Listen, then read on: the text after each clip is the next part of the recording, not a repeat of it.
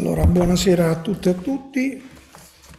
Un particolare saluto al Presidente Massimiliano Marotta alla Professoressa Tiziana Providera che ci stanno seguendo da casa e sono veramente contento di avere con noi non solo un amico dell'Istituto, ma un grande e avuto studioso collega Gaetano Lettieri, eh, che è professore ordinario di storia del cristianesimo e delle chiese, mi sembra che questa sia l'esatta dizione, sì. alla Sapienza Università di Roma e direttore anche del Dipartimento di Storia, studi... Antropologia, Religioni, Arte e Spettacolo. Ecco, non mi entra nella non testa, mi dispiace. E siamo al terzo giorno del laboratorio leopardiano dedicato a tre concetti, lo dico per chi non era con noi in questi giorni, tre concetti fondamentali, bellezza, verità e virtù, che nei due laboratori che teniamo, questo di gennaio e quello di febbraio, saranno declinati secondo due assi differenti. Un asse cronologico, antico-moderno, che in realtà non è soltanto cronologico ma anche valoriale per molti aspetti, e un asse invece concettuale, cioè secondo la polarità relativo assoluto. Ovviamente poi i relatori interpretano nel modo che pare loro più opportuno queste indicazioni che noi abbiamo dato. Allora, professor Lettieri oggi, come ho sentito dalle anticipazioni, ci parlerà in particolar modo della ginestra e del rapporto con il cristianesimo e eh, il pensiero e la poesia di Giacomo Leopardi. Allora, grazie di nuovo Gaetano, a te la parola. Sono io a dovervi ringraziare, ringrazio innanzitutto Signor, dovevo ringraziare, eh, ringrazio innanzitutto il Presidente Massimiliano Marotta, Tiziana Providera, per me è un onore essere qui all'Istituto e eh, parlare in questa, uso un termine mh, calibrato, vera e propria tribuna da un punto di vista culturale italiano è anche un atto di profonda responsabilità civile, non bisogna dimenticarlo. Eh, sono d'accordo sul fatto che confrontarsi con grandi tradizioni e grandi autori significa anche avere una responsabilità ben precisa da un punto di vista culturale, lo ripeto, da un punto di vista civile e l'istituto è un punto di riferimento a livello nazionale e internazionale in proposito. Eh, ancora riprendendo quello che era l'intervento e il saluto di Massimiliano Marotta, eh, sintetizzerei, introducendo un attimino questa mia questa mia relazione, eh, un termine che può sembrare anomalo in riferimento a Leopardi, è il problema del bene.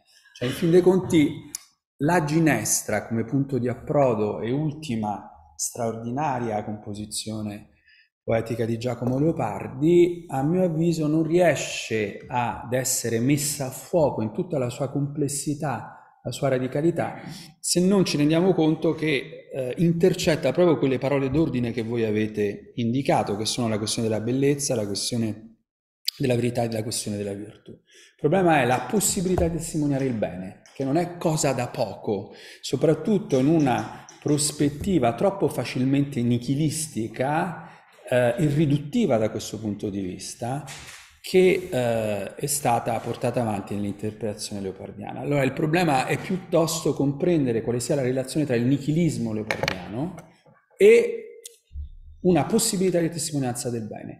Eh, detto per formule, il problema è anche porci una dimensione di Leopardi moralista, e Leopardi è sempre stato un pensatore e un poeta moralista. Pensate, ora non diamo ovviamente un'accezione negativa al termine eh, moralista, potremmo dire morale, ma insomma per intenderci, e qui capto anche qualche titolo no, della recente bibliografia, il discorso, sin dalle operette morali, la fondazione di una morale è una questione assolutamente decisiva che investe, ne parlerò alla fine di questa mia chiacchierata, anche un'altra opera fondamentale per giudicare la traiettoria leopardiana che sono i pensieri, e cioè il fondo l'opera postuma, no? che doveva anche nella costruzione, nell'architettura progettata da Leopardi essere accanto appunto alle operette morali, ovviamente ai canti, un pilastro assolutamente decisivo.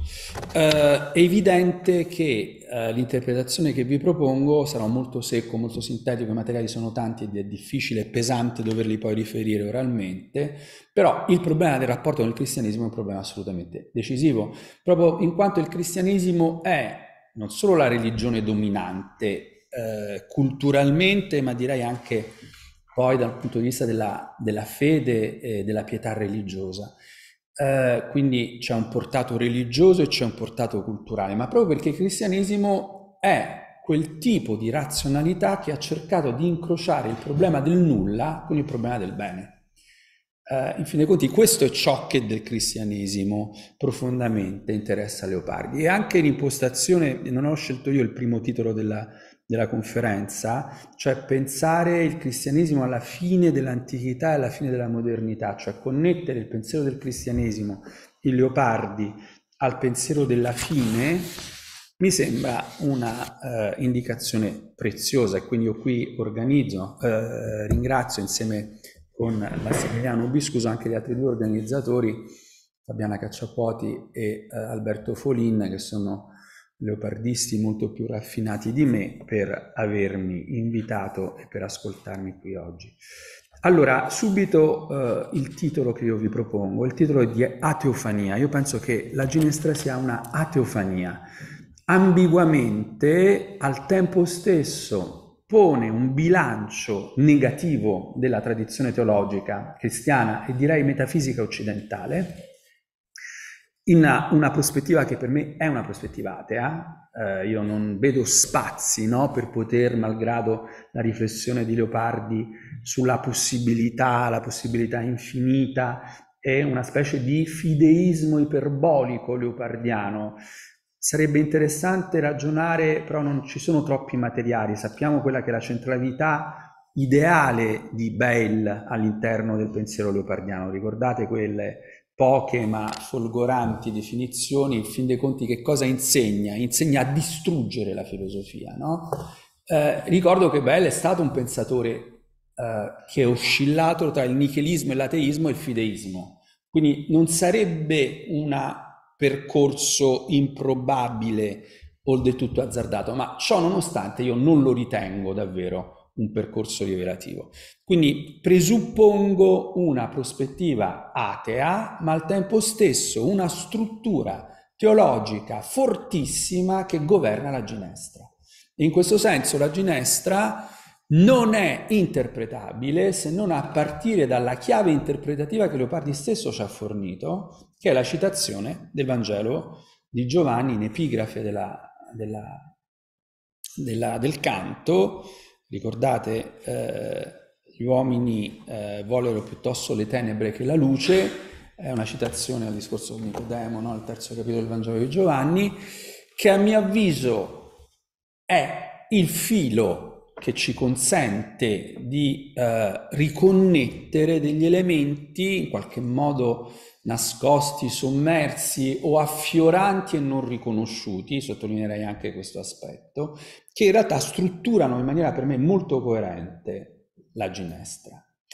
Eh, io non penso affatto, eh, lo ripeterò, riprenderò questa indicazione alla fine di breve, questa mia breve presentazione, non penso affatto che l'accezione, della, cioè il significato della citazione giovannea all'inizio del canto sia soltanto sarcastico o nella prospettiva del rovesciamento, come a dire che la vera luce è la liberazione dal discorso teologico. Il, il rapporto con questa dialettica tra luce e tenebre è un rapporto molto più complesso, a mio avviso, ed è un rapporto che è governato dalla relazione di Leopardi con Gesù Cristo. Cioè, a mio avviso, il cuore della ginestra è la prospettiva di una cristologia atea.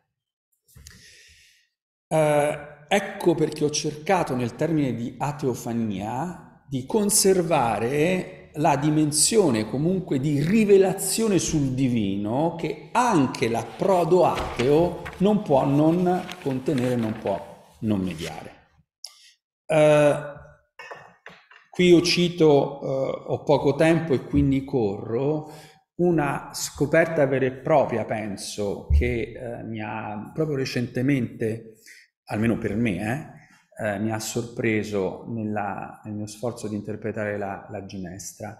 Ed eh, ha un nome, ha una storia, un volto, ha un corpo di opere imponente. Questo nome è Daniello Bartoli, è un gesuita che eh, accompagna quasi tutto il XVII secolo, eh, uno scrittore torrenziale, ricordo che sia nello Zibaldone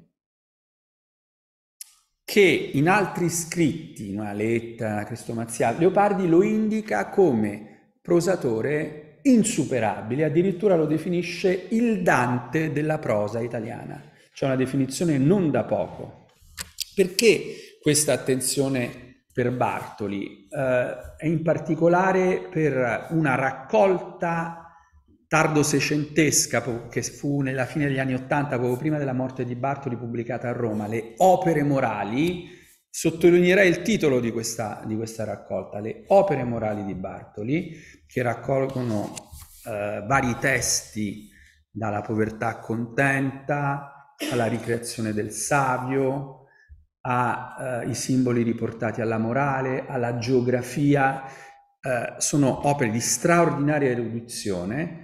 Eh, per quale motivo cito questa opera? Perché penso che sia l'opera che sia alla base della Ginestra, cioè è un'opera complessiva di eh, confutazione dello scetticismo, del materialismo, dell'ateismo seicentesco nella prospettiva di una reinterpretazione platonico-cristiana sostanzialmente, fortemente nutrita sia di testi classici che di testi patristici, ma anche aggiornata da un punto di vista filosofico, una difesa della creazione come teofanica.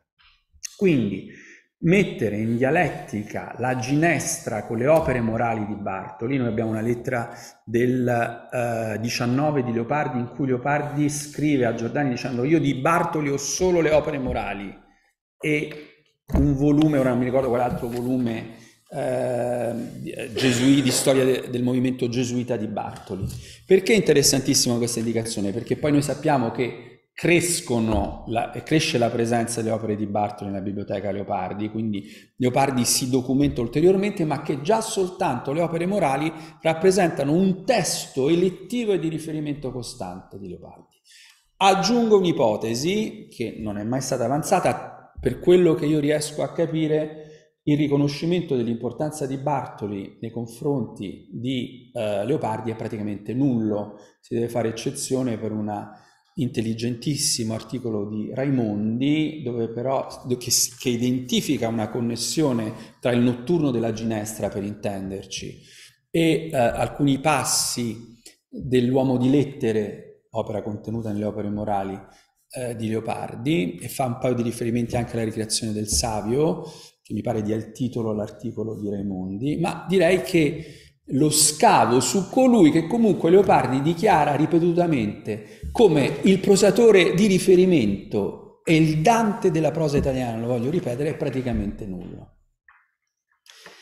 Eh, allora, vedrete che darò alcuni esempi, tutta la struttura della Ginestra trova precisa corrispondenza in questi testi di Bartoli. Andiamo per gradi.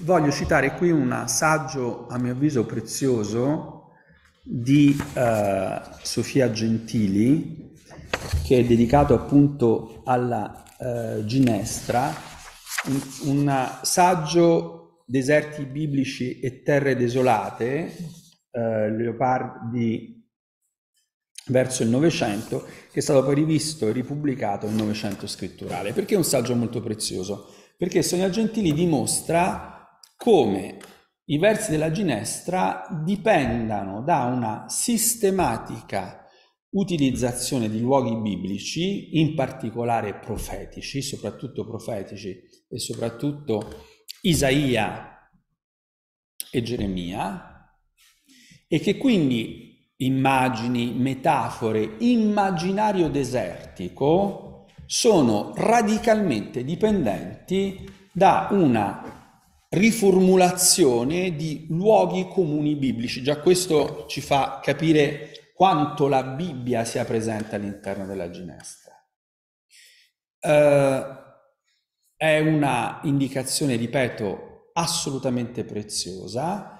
Uh, Sonia Gentili sfiora il problema che anche il fiore del deserto, cioè la ginestra, richiami il fiore biblico, e cioè il giglio, ad esempio, o eh, altri fiori biblici invece che indicano dimensione desertica, no? di dimensione di il ginepro, dimensione quindi di, uh, di, morte, di desolazione, ma non approfondisce la questione. Io direi che quindi la prima proposta che io vi faccio è questa. Se è vero, come ripeto Sonia Gentile ha dimostrato, che la ginestra sistematicamente reinterpreti il paesaggio desertico, il paesaggio vesuviano e la descrizione della distruzione delle civiltà che trova piena corrispondenza con la distruzione naturale ha un'origine biblica, è evidente che dobbiamo interpretare in senso biblico anche la metafora del fiore, cioè anche la metafora della ginestra. Allora da questo punto di vista vedete la antitesi tenebra-luce tende a corrispondere all'antitesi deserto-fiore e chiaramente ciò che luce, ciò che fiore non può che essere Cristo. Il problema è quindi riconoscere alla ginestra la captazione di formule e di luoghi simbolici cristologici che in realtà ne strutturano il rapporto appunto dialettico con la descrizione del deserto che rappresenta ovviamente una metafora del nichilismo leopardiano e quindi dell'assoluta dimensione ateologica del reale. Ora è inutile moltiplicare i riferimenti sia alle prose che alle poesie di Leopardi. Questo che cosa comporta? Comporta che a mio avviso ciò che regge eh, ideologicamente la ginestra è una logica di tipo apocalittico messianico, che non a caso è indicata nella citazione giovannea in calce alla, al canto. E cosa intendo per dialettica eh, apocalittico-messianica. Nella dimensione apocalittica una logica della distruzione, dell'annientamento che non a caso ha in molti testi veterotestamentari ispira, ecco, no? Ispirazione viene presa da questi testi neotestamentari leopardiani e radicalizzata nei testi apocalittici cristiani. Quindi vi è una dimensione divina della distruzione dell'annientamento. E l'esperienza del nulla è un'esperienza interna alla tradizione biblica, interna alla tradizione cristiana. Aggiungo, qui io dovrò essere, me ne scuso innanzitutto con Massimiliano che ha esplorato e ama molto quei testi, quanto l'interpretazione del cristianesimo nello Zibaldone, ovviamente è esteso anche agli altri studiosi qui presenti, sia una interpretazione ossessivamente catturata dal rapporto col cristianesimo fino al 21-22 e che poi si concluda tra il 22 e anche dei testi del 23 nella constatazione che il cristianesimo è stato l'elemento culturale chiave per l'affermazione, lo disvelamento del nichilismo. Allora, da questo punto di vista, il nichilismo va reinterpretato all'interno di una dialettica apocalittica, nulla pienezza, nulla luce, tenebra luce, nulla rivelazione, che è una dialettica che Leopardi ovviamente storicizza. Allora dobbiamo concentrarci sulla dimensione appunto nichilistica interna ai testi biblici. Ad esempio io potrei portare molte citazioni dove il termine annichilare che torna nella ginestra e termine ridurre a nulla, nullificare, niente, affollano la notazione all'Antico Testamento di Antonio Martini che è l'edizione settecentesca della traduzione in italiano, no? del testo della Vulgata, della traduzione italiana della Bibbia, che Leopardi utilizza, come la Gentili stessa ha dimostrato, e di cui spie no, di dipendenza sono presenti, testuali sono presenti nelle metafore della ginestra. Allora, ripeto, anche da un punto di vista filologico, eh, la fitta fitta, il fitto ricorso a termini, chiamiamoli nichilistici, ha un'origine biblica nel commento a Martini che evidentemente Leopardi tiene presente, ma poi è ideologicamente, autonomamente, la riflessione di, stessa di Leopardi sul cristianesimo come ciò che produce il nichilismo o ciò che determina, no? La, tramite il monoteismo come negatore della sacralità e del senso e della pienezza della realtà mondana che determina progressivamente l'affermarsi del nichilismo, una specie di, eh, come dire, negazione che filosoficamente cresce e che finisce per divorare se stessa sostanzialmente. Aggiungo un elemento, un punto di riferimento per me fondamentale già in una mia ricerca sul, sull'infinito e in particolare sull'ultimo verso del canto, naufragarmi dolce in questo mare, è stata uh, una delle, uh, degli scritti dei discorsi sacri di Leopardi, sono discorsi di Leopardi adolescente del 13, in particolare un gruppo di discorsi che sono stati, eh, non tutti i discorsi sono stati pubblicati purtroppo, ma alcuni di questi è molto importanti, la flagellazione, eh, la passione della crocifissione di, eh, di, Cristo, crocifissione e morte di Cristo del 1813. Sono scritti molto importanti. Ho poco tempo, devo essere brutale e sintetizzare.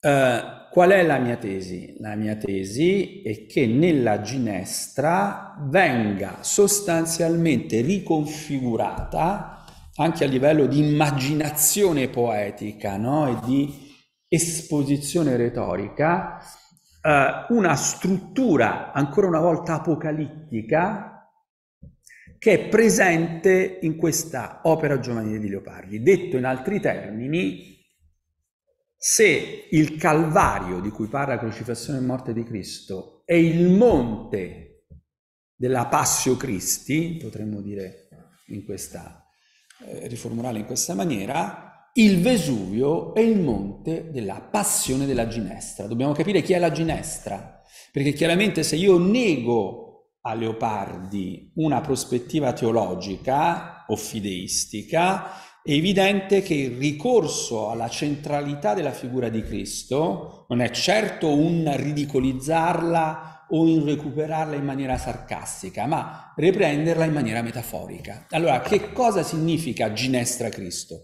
Questo è il tema che a mio parere dobbiamo eh, porre e in fin dei conti la risposta ve l'anticipo. La mia tesi è che il Christus Patiens che Leopardi ha già trattato in maniera approfondita all'interno di questi scritti, questi discorsi sacri di adolescente, divenga la figura del poeta nel deserto biblico da un punto di vista dell'immagine e metafisico da un punto di vista della restituzione appunto filosofica e quindi nella, nella nullificazione della realtà, cioè il rapporto è il rapporto dialettico tra il poeta e il nulla e la funzione cristica messianica del poeta.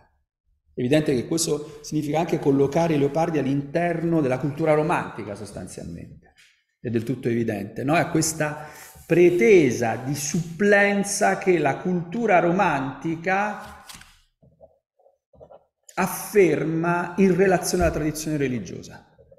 Questo vale per, eh, per la Francia, penso al grande libro di Benichou, che appunto tratta proprio in prospettiva Vedete, Il tempo dei profeti, Dottrine dell'età romantica, un libro prezioso da questo punto di vista, e c'è questo slittamento dal religioso al letterario, profetico, politico, è un discorso proprio di slittamento, di secolarizzazione, ovviamente vale per il mondo tedesco. Allora forse bisognerebbe interpretare Leopardi all'interno no, di questo movimento culturale più più ampio e complessivo dove Leopardi ovviamente non ha le ingenuità romantiche che vediamo altrove, in questo senso la sua una metafisica radicale, nichilistica, no? che non ritroviamo in altri autori, in altri contesti culturali. Quindi eh, aggiungo una, eh, diciamo, ricorro una formula, il problema, a mio avviso, della teofania che la ginestra ci propone è quello di riconoscere nelle nei riferimenti a Cristo che patisce, che muore, che esperisce il nulla e quindi il Vesuvio Calvario in qualche modo, nella prospettiva del ruolo del poeta.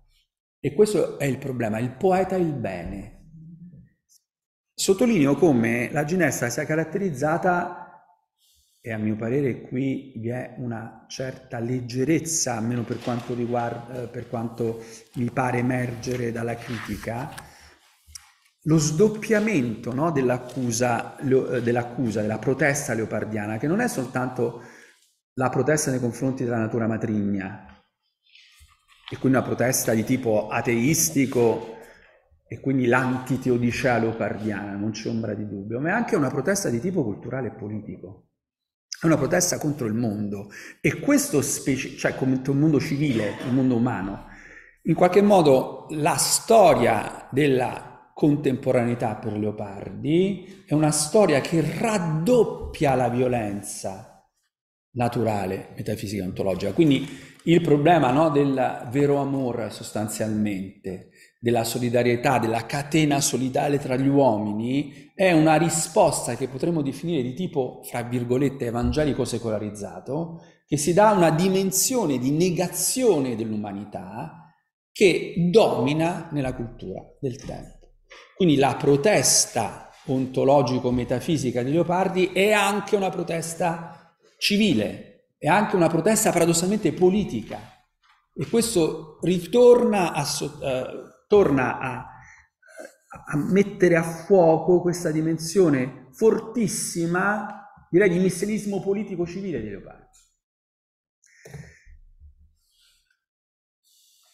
Ovviamente quando io dico che vi è un parallelismo, vi darò qualche esempio, tra Ginestra e crocifissione e morte di Cristo, ho degli esempi testuali.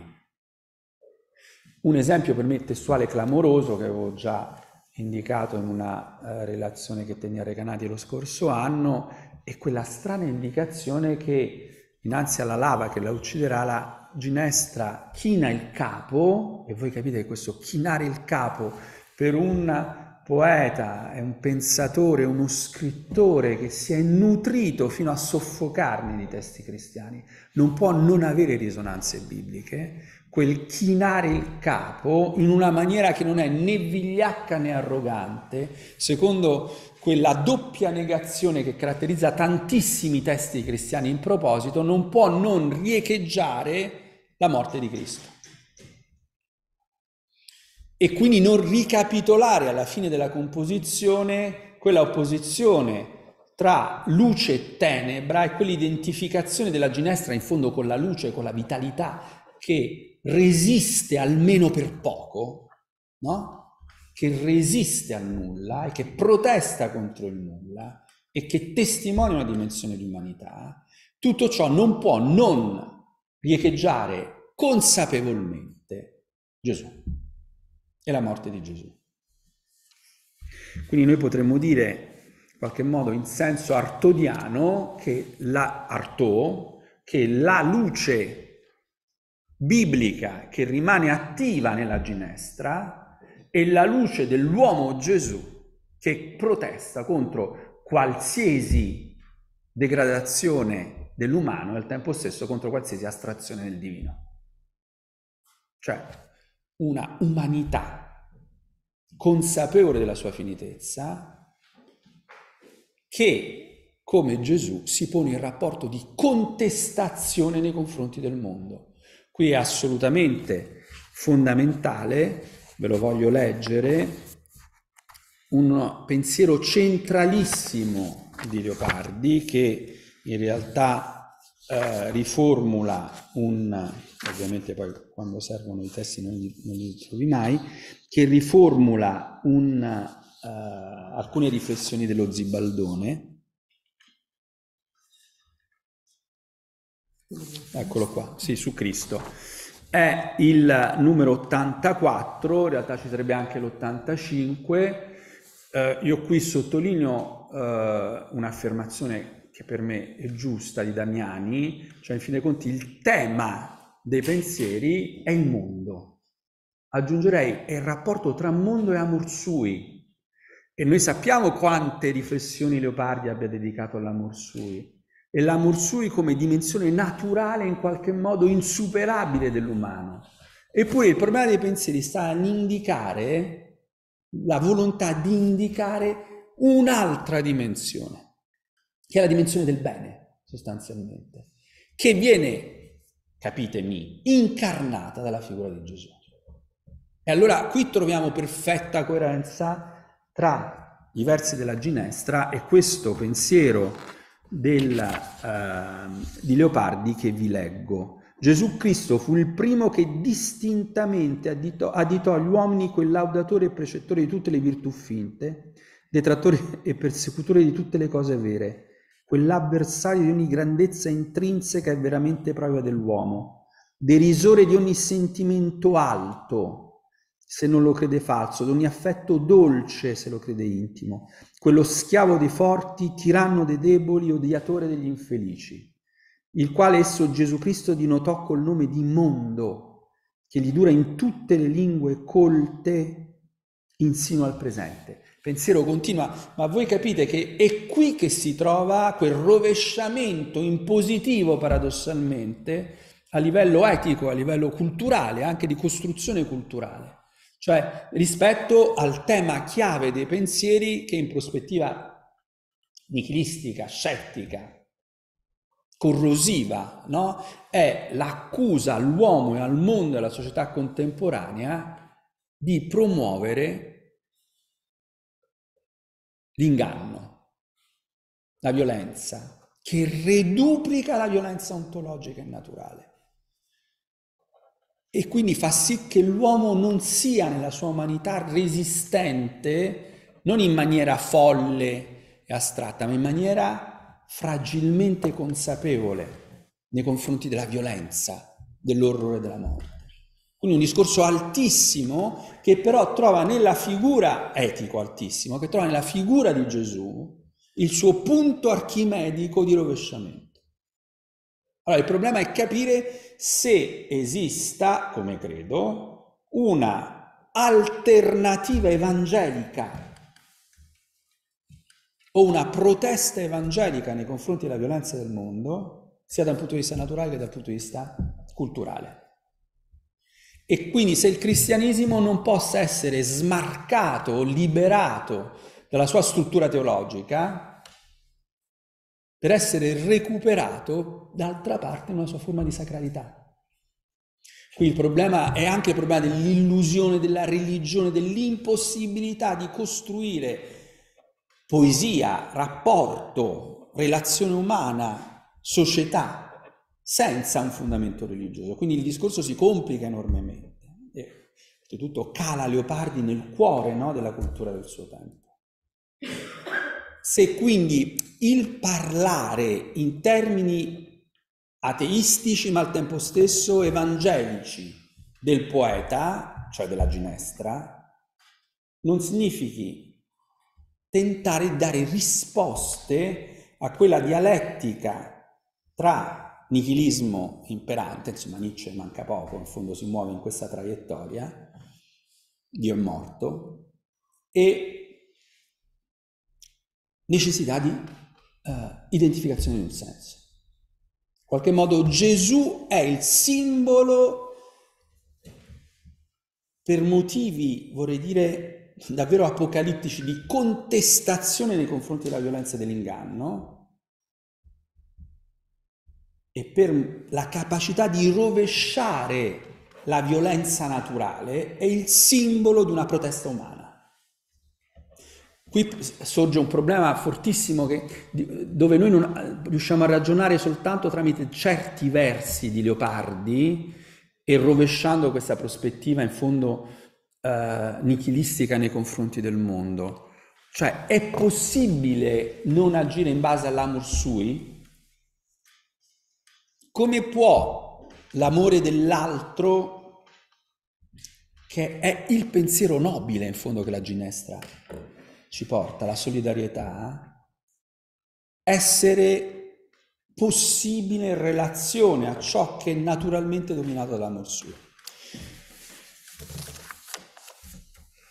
aggiungiamo delle eh, notazioni, quindi in qualche modo cosa prospetta la ginestra. Voi capite che quindi la mia non è una lettura fideistica ingenua, è una lettura che indica nella ginestra il tentativo di identificare una come dire, fra virgolette, religione civile post-cristiana, dove il cristianesimo è al tempo stesso superato e ritrattato in una dimensione molto complessa, anche per certi aspetti equivoca, potremmo dire, perché comunque la pietà tradizionale conta. La pietà tradizionale è comunque veicolo del, di immagini, di illusioni e quindi anche di possibilità di identificazione di un senso. Aggiungo come queste indicazioni che vi sto proponendo affondino, spero, in una uh, analisi dei versi. Vorrei qui affermare una, qualcosa che ormai si evince da quanto vi ho anticipato. Allora, la ginestra è un fiore. Uh, a mio parere, qui è assolutamente centrale un'espressione che è presente in Ambrogio, nel commento al Vangelo di Luca, flos sublimis, fiore sublime. La ginestra è un fiore sublime. Questa citazione la ritroviamo in Daniello Bartoli enormemente articolata. Perché il fiore sublime è il fiore della morte, della risurrezione, della disperazione e della carità, del finito e dell'infinito, potremmo dire. O ancora della morte e della rinascita, della tenebra e della luce. Ebbene, se noi andiamo, ve li leggerò, scusate se c'è questa forma di anatomia del testo poetico, è qualcosa di orrendo, ma eh, non possiamo farne a meno, vi leggo alcuni versi celeberrimi. Io leggo malissimo, me ne vergogno, e poi Faccio bene a sezionarli perché se dovessi leggere Leopardi di seguito mi commuoverei e non riuscirei a leggerlo, devo essere sincero, perché lo trovo intollerabile. Allora, odorata ginestra, contenta dei deserti, anco ti vidi, dei tuoi steli abbellir l'erme contrade. Allora, cominciamo da questo, contenta dei deserti. A me questo termine contenta ha scatenato poi l'identificazione di Bartoli Cosa vuol dire? Che cerca il deserto, che è contenta del deserto, che sta bene in qualche modo nel deserto. State attenti che qui sto cercando di, di riassumere in un termine la dimensione della ginestra. La ginestra è un fiore chenotico, cioè che si svuota, che si nasconde, per questo è un fiore cristologico.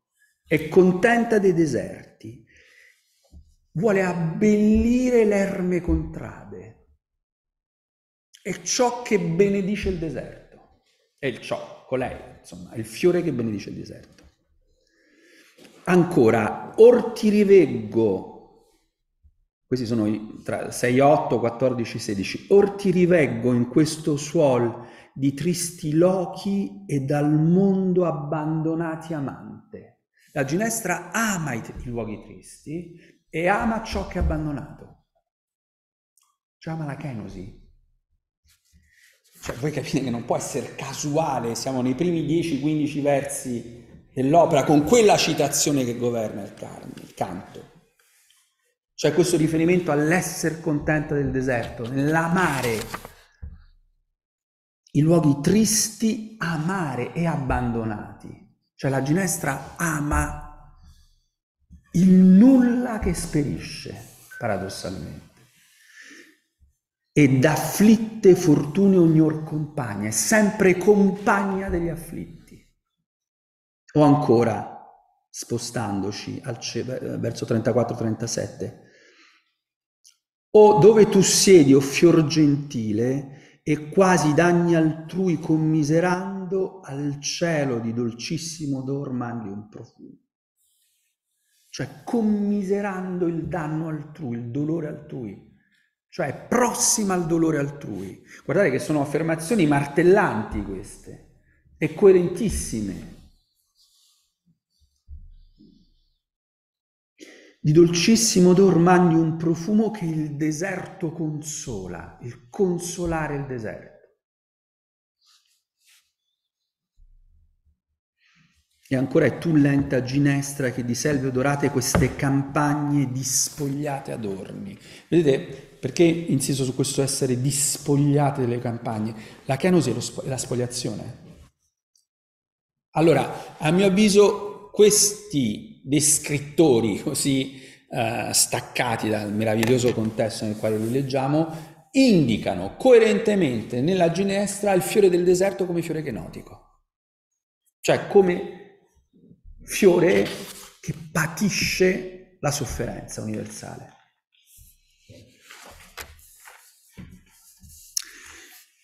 Il discorso si allarga qui alla, a un altro elemento fortissimo. Allora, la ginestra è la metafora del poeta, del tutto evidente. È il fiore nel quale Leopardi si autointerpreta, col quale si presenta sulla scena. Leopardi è la ginestra, la ginestra sola sul Vesuvio, e Leopardi solo sul Vesuvio.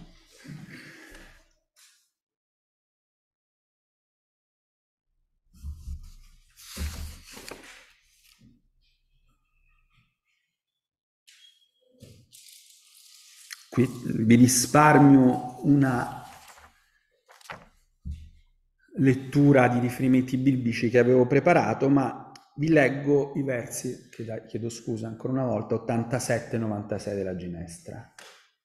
Magnanimo colui che se schernendo gli altri, astuto folle, fin sopra gli astri in mortal grado e stolle. Vedete la negazione, no? l'antitesi. Già Sonia Gentile ha identificato la presenza di riferimenti biblici. Cioè, in fin dei conti, chi il mondo, il secolo che tenebra, l'avversario del pensiero di Leopardi, giudica come magnanimo, colui che si esalta. Vedete, l'anti, movimento anti-chenotico. Ma cosa aggiunge?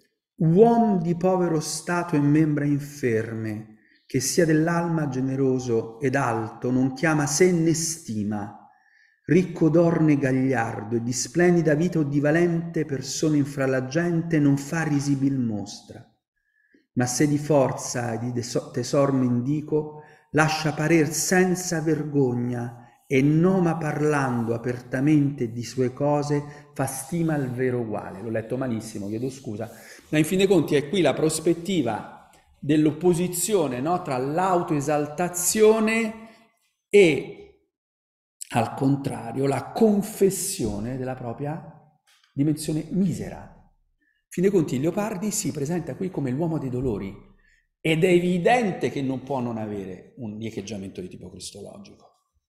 E qui il deutero Isaia, senza bellezza, no? senza gloria, sfigurato, disprezzato. Cioè vi è qui un'autointerpretazione martiriale del poeta contrapposto al mondo che si muove in dimensione totalmente kenotica. Allora vi è perfetta coerenza tra l'autopresentazione del poeta e la ginestra e vi è ancora perfetta coerenza interpretativa. Tutto questo è una topos cristologico sostanzialmente. Aggiungo, il tempo uh, scorre. Eh, tranquillo. Sì, allora, eh, apro un'altra questione, che è una questione divertente, ma a mio avviso non, non secondaria, che è la questione io poi mi devo fare i multifocali perché qui... Beh, c'è le note in corpo 8. Sì, io poi c'ho, io sono, se no non riesco a... Dato che sono come, come Bartoli logorroio quando scrivo, no? se, se, non stringo piccolo non riesco a controllare poi il periodo. Allora, eh, una questione.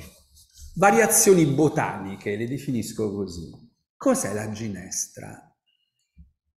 Allora, gli alberi in particolare sono tre. Ginestra, Tamerice, Ginepro. Ginestra Ginepro hanno anche una connessione no? immediata da un punto di vista, lo sentiamo immediatamente. Io non mi intendo di botanica, sono fiori di siepe sostanzialmente eh, e tutti e tre hanno una straordinaria fortuna biblica. la ginestra un po' più nascosta. Faccio, vi faccio notare come recentemente lo Juniperus, che è la pianta sotto la quale si pone Elia nel deserto, venga tradotto con ginestra. Ginestra, ginepro. In altri testi, per esempio nello stesso, nello stesso Martini, eh, rimane il più diffuso termine di ginepro. Allora, eh, ripeto, qui vi dovete fidare, presto comment- eh, pubblicherò un articolo in cui queste fonti vengono documentate. Ricercando si, si riesce a capire come ci siano vari riferimenti eh, biblici all'identificazione di Cristo, in particolare della croce di Cristo, sia con il ginepro, la pianta sotto la quale va Elia, che con la ginestra. Cioè noi abbiamo nella tradizione a partire dal Medioevo, nella tradizione esegetica, quindi teologica e spirituale, un'esplicita identificazione tra Cristo e Ginestra. Non diffusissima, ma ad esempio presente in un manuale celeberrimo, poi capire cosa leggesse, quanto leggesse, non basta la presenza di un libro nella biblioteca Leopardi per provare che Leopardi ne dipenda. Ciò nonostante vi è un manuale fondamentale che ovviamente io ora, eh, eccolo qui, Reductorium Morale Super Totam Bibliam, è eh, composto intorno alla metà del XIV secolo da Petrus Bercorius, da Bersuia, che è presente nella Biblioteca Leopardi. E perché è particolarmente interessante? Perché è un prontuario e quindi, come dire, è un'opera celeberrima e prestigiosissima nella cultura sia tardomedievale che moderna, a cui molti teologi attingono e cui è probabile, per cui è probabile che Leopardi lo potesse consultare. Ha una voce ginestra e all'interno di questa voce ginestra, con riferimenti biblici, ha tra tante interpretazioni anche l'interpretazione di ginestra come croce di Cristo. Ripeto, questo te- tema viene testimoniato anche in altri testi più tardi di età moderna. Oltretutto vi è anche l'identificazione tra Genesta, Ginestra e Mirica, cioè la tamerice, che è una pianta complicata, eh, oltretutto è una pianta sotto la quale viene indicata la maledizione divina. Quindi vedete è una pianta desertica e quindi di maledizione. Ma infine anche tra Ginestra e Ginepro, come vi dicevo, sicché l'albero sotto il quale Elia nel deserto chiede a Dio di morire, ora basta, dice, cioè un albero molto leopardiano potremmo dire, è il Ginepro Ginestra. Ripeto, qui c'è tutta una serie di testi medievali e moderni che è possibile citare. Eh, passo allora a quello che vi avevo proposto, e cioè a riferimento alle opere morali di Daniello Bartoli, che per me sono state una, eh, veramente un'epifania, non posso dire una teofania, ma è un'epifania. Eh, consentitemi di dire innanzitutto come ci sono arrivato. Ci sono arrivato cercando di ragionare sull'aggettivo della ginestra contenta questo contenta mi ricordava la fine dell'elogio degli uccelli delle operette morali. Avevo dato indipendentemente un'interpretazione delle operette morali dell'elogio degli uccelli come luogo di risonanza della parabola biblica, matteana e sinottica dell'uccello dei cieli, nei cieli, gli uccelli nei cieli e, del, e dei gili nei campi. A mio avviso è evidente, vi ricordo che quella eh, operetta morale si conclude proprio in riferimento alla letizia, alla contentezza degli uccelli. A mio avviso anche la contentezza, l'essere contenta della ginestra non poteva essere esente, tanto più che un fiore di straordinaria importanza e rilevanza, appunto in questo immaginario teologico tradizionale, non poteva essere esente dal, da riferimenti biblici, in particolare dal riferimento evangelico. Cioè l'essere contenta mi pareva un termine teologico molto forte, mi pareva un termine evangelico. Ho cercato, quindi ovviamente sul web, che in certi casi è benedetta, la connessione tra fiore e contento e mi è apparsa un'opera che è La povertà contenta di Daniello Bartoli. Non avevo presente l'affermazione di Leopardi, che Daniello Bartoli, quando l'ho letta, sono saltato dalla gioia, ovviamente sulla sedia, e per lui il Dante della prosa italiana.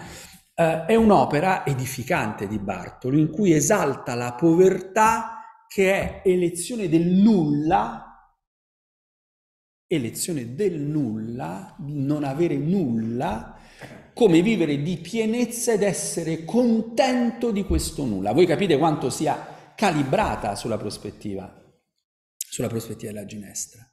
E che cosa si trova? Si trova ovviamente l'identificazione del povero contento con il giglio del campo. E viene definito Gesù il giglio, il re dei gigli e il re dei fiori. E allora da questo punto di vista chi è Gesù? È il re dei fiori, che è il Signore dei poveri, di coloro che vivono di nulla, è un fiore del nulla, è un fiore da nulla. Qui mi sono venute in mente delle espressioni di, um, di Prete, eh, in quel suo volumetto per la Donzelli sul fiore del deserto, mi pare che sia il fiore del deserto, e che chiude proprio con questi riferimenti sul fiore, o almeno un capitolo sul fiore come fiore da nulla, ma qui in senso fortissimo cioè il fiore contento del nulla.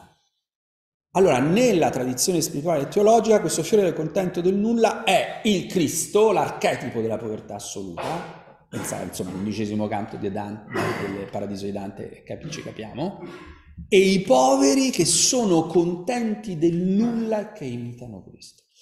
A partire da questo, ovviamente, la curiosità eh, ho trovato, no, digitando il rapporto tra Leopardi e Bartoli, il saggio di eh, Raimondi che vi citavo, ma ho trovato appunto le opere morali di Bartoli. Le ho lette quasi sistematicamente perché sono mille pagine e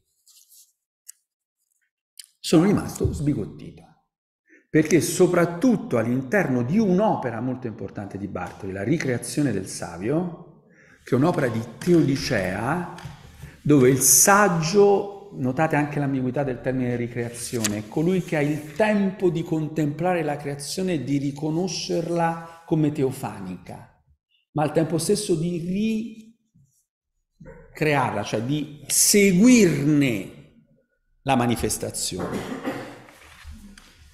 Perché sono rimasto sbigottito? Perché a parte la straordinaria potenza della prosa, indubbiamente, è uno scrittore enormemente prolisso, ma al tempo stesso veramente uno scrittore trascinante, torrenziale, in qualche modo veramente un grande scrittore barocco. Ma sono rimasto sconcertato perché in particolare nella Dedicazione del Savio, ma anche in altre opere, troviamo tutte le scansioni tematiche della Ginestra. La mia tesi è che la ginestra sia composta con la ricreazione del savio davanti, perché ne è il rovesciamento, cioè ne è la lettura, ormai siamo abituati, contropelo, cioè la lettura in dimensione teofanica. E allora vi indico, non voglio andare troppo in là, mi interessa più il dibattito adesso che eh, appunto entrare poi nel dettaglio, vi potrei leggere tante, tanti passi. Eh, vi faccio notare soltanto che per esempio in Bartoli noi troviamo la, un'espressione che sono convinto piacerà tantissimo ad Alberto Folin. Eh, I fiori vengono definiti fiori filosofi, che per la ginestra è interessantissimo, cioè i fiori filosofi perché conoscono il nulla e rivelano il senso della realtà sostanzialmente, che ovviamente è il senso teologico per Bartoli cioè il nascondersi kenotico del senso nel nulla che i fiori riescono al tempo stesso a esperire, ma che nella loro bellezza vincono, nella loro grazia vincono. Allora, vi dicevo della corrispondenza. Nella ricreazione del Savio noi abbiamo un brano eccezionalmente interessante di Tertulliano, vedete che, come dire, c'è sempre un input patristico, potremmo dire, dentro le grandi composizioni eh, di Leopardi. Eccolo qua, scusate un attimo, ve lo leggo.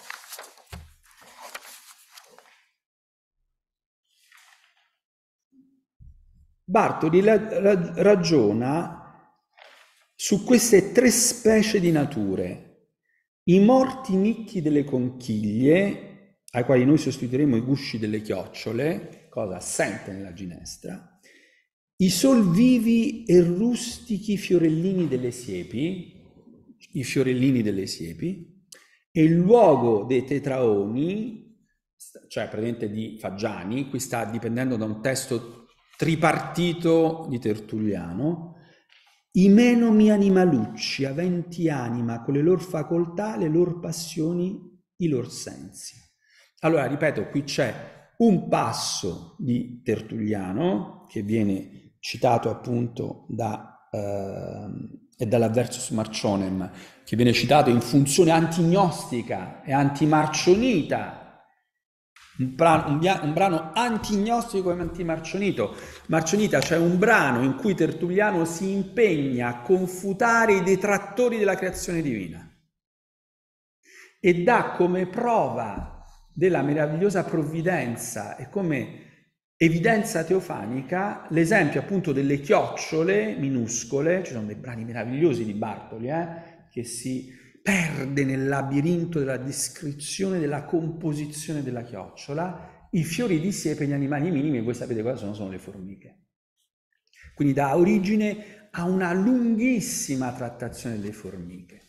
Uh, il brano è particolarmente interessante per quale motivo? Perché ovviamente recupera i luoghi classici, a partire in particolare da Seneca, ma non è l'unico Seneca, in cui il tema delle formiche è un tema uh, come dire, di eh, deprezzamento filosofico e stoico delle grandezze umane, nella prospettiva no, di ascendere in qualche modo al cielo e guardare la aiuola che ci fa tanto feroci in prospettiva filosoficamente distaccata. Uh, aggiungo che in Bartoli sia la trattazione dei poveri contenti che la trattazione dei fiori è preceduta da lunghissime descrizioni sulla distruzione delle civiltà, sia per guerre, sia per eventi naturali. Cioè noi abbiamo l'identica struttura della ginestra. Distruzione, per cui Roma, lamento su Roma che ora ridotta a rovine, o lamento di Cartagine dei Romani, o addirittura Lamento di Pompei, in uno scritto, un altro scritto da, dai simboli di, di eh, Bartoli, no? ci si lamenta su appunto tu, quell'anfiteatro vuoto, ciò che il vulcano o il terremoto o le guerre o altro, altre civiltà hanno distrutto, la vanità delle grandezze umane contrapposta alla semplicità del fiore, alla povertà contenta del fiore, e al tempo stesso il tema delle formiche, dove Bartoli dice non dobbiamo farci ingannare dal fatto che siano così piccole, ovviamente lui è interessato ad esaltare il miracolo della società delle formiche, no? di questa razionalità, eh, come dire, primordiale no? della, delle razze delle formiche che riescono a costruire società, gerarchie, case, alberghi, sto citando, no? voi capite, anche diversi della ginestra, e che addirittura abbiamo uno stesso termine, un grosso animale a terra. Ricordate il ricorrere di a terra, no? Uh, la maturità che atterra quel frutto che così facendo schiaccia, eccetera, eccetera. E dice Bartoli, non dobbiamo farci uh, confondere dal fatto che basta un, un animale un po' più grosso atterrare a distruggerle, perché in qualche modo quelle formiche sono l'umano.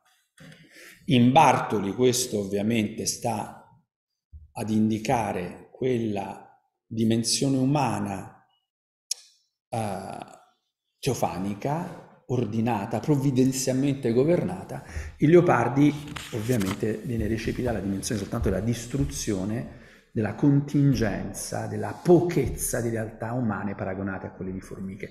Qui la presenza di Seneca è potentissima in Bartoli, Bartoli lo chiama il morale, hm? è il filosofo morale e quindi è anche interessante la ricchezza di riferimenti a Plinio, a Seneca, a Cicerone e ovviamente anche ai patristici, a Lattanzio, ad Agostino, ad Ambrogio, ai Cappadoci, cioè eh, voglio dire è oltretutto uno zibaldone straordinario e io capisco la curiosità intellettuale con la quale Leopardi doveva di, divorare queste pagine. Ripeto, noi troviamo il tema delle guerre mondane, delle distruzioni delle civiltà, connesso al tema della povertà contenta e dei fiori filosofi, al tema dei piccoli animolucci e delle formiche che da teofaniche diventano ateofaniche nella prospettiva leopardiana.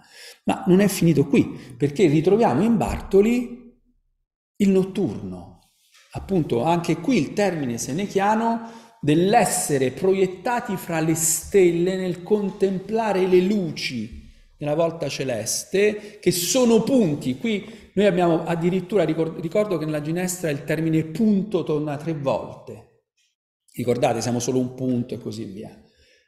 Ossessivamente un termine che ricorre in Bartoli. In Bartoli ricorre l'espressione granel di rena, granello di sabbia, cioè anche da un punto di vista delle formulazioni terminologiche, qui noi abbiamo un Leopardi che, ripeto, all'interno di una struttura identica da un punto di vista tematico, uno può dire tu stai ordinando Bartoli a partire dall'indicazione leopardiana, no, perché proprio nella stessa successione in qualche modo. Noi scorgiamo delle stesse, le stesse metafore talvolta le stesse espressioni.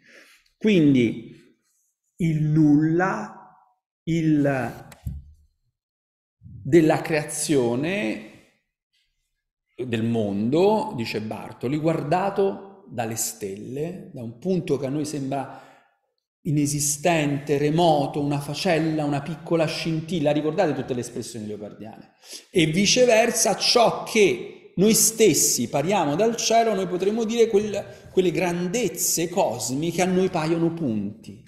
Quindi è evidente che eh, in Bartoli questi elementi sono elementi che recepiscono la rivoluzione copernicana, Copernico ha anche citato in maniera positiva, ma che le re- relativizzano in dimensione biblica. Posso aggiungere una cosa? Sì, certo. Anche se il rituale di No, ma per carità, è la cosa più bella. Questo mi sembra molto presente nella letteratura apologetica cristiana, certo. tardo-seicentesca e settecentesca, che capovolge la precedente opposizione al copernicanesimo tanto che viene citato da Leopardi questa visione dall'alto, per cui la Terra a un certo punto diventa un punto, anche nella storia dell'astronomia. Sicuramente c'è una citazione della storia dell'astronomia che, che dialoga con questi...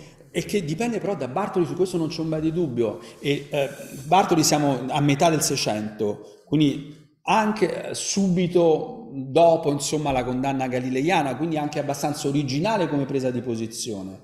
Bartoli non è un eliocentrista, diciamo, perché deve difendere la, la, tradizione, ma si apre a un riconoscimento delle scoperte copernicane, scoperte copernicane e alla scoperta, non, per lui non del, di un mondo, di uno spazio infinito, ma dell'immensità e quindi come luogo analogico della riflessione sull'infinità di Dio. Esatto. Quindi chiaramente vi è un, un giro di testi e di questioni Qui è interessantissimo che, ripeto, anche terminologicamente, in quello che ho definito appunto il notturno, noi abbiamo questo filosofar fra le stelle, è un'espressione di Bartoli, cioè mettersi nella prospettiva del filosofo che vede la nullità della creazione del mondo.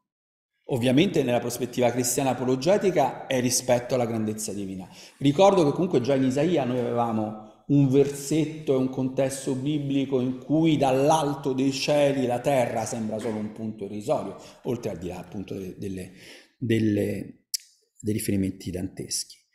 Ma non è finita qui, la cosa assolutamente clamorosa è che io ho notato con sconcerto rispetto a un autore studiatissimo, quindi questa è anche fortuna, devo dire la verità, è che in un capitolo fondamentale dedicato alle mani, chi, chi legge Ama Bruno dovrebbe trovare anche un altro elemento di interesse, noi troviamo eh, un lunghissimo escursus sulla natura matrigna.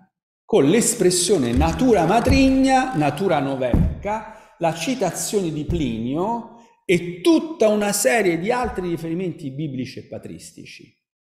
Ricordo che appunto l'espressione natura matrigna la troviamo nella Ginestra. Cioè, allora, voglio dire, non può essere casuale la sistematica corrispondenza e il culmine della natura matrigna. Ma se voi ricordate, il tema della natura matrigna, eh, io ora, ora, qui dovrei prendere i versi, sono, ho sempre scrupoli nel riprendere i versi, scusate un istante, eh, ci permette di connetterlo al tema del riso. Perché anche il tema del riso, che voi sapete quanto sia assolutamente centrale Leopardi e quanto lo sia, mi sto avviando a chiudere, cioè 10 minuti e chiudo, eh, di quanto sia importante anche dal punto di vista della valutazione filosofica, no? Um, Ridere del mondo mi pare che si intitoli uh, un libro del, del, mio collega in Sapienza Emilio Russo, no? Cioè uh, la prospettiva leopardiana come, ma appunto anche nelle operette morali, quanto sia dominante il tema, il tema, il tema del riso. Ma volevo concentrarmi ancora sulla, sulla, sul tema della natura matrigna.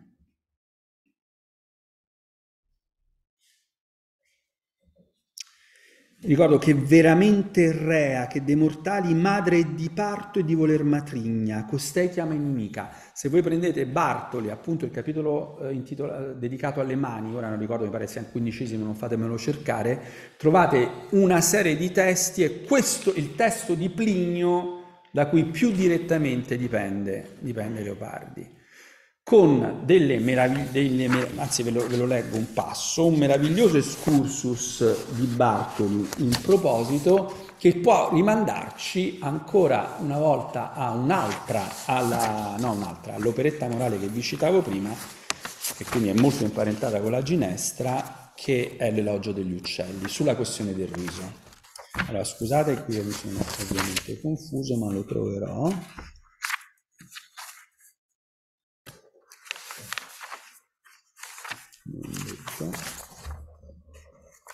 Vabbè, ve lo riassumo.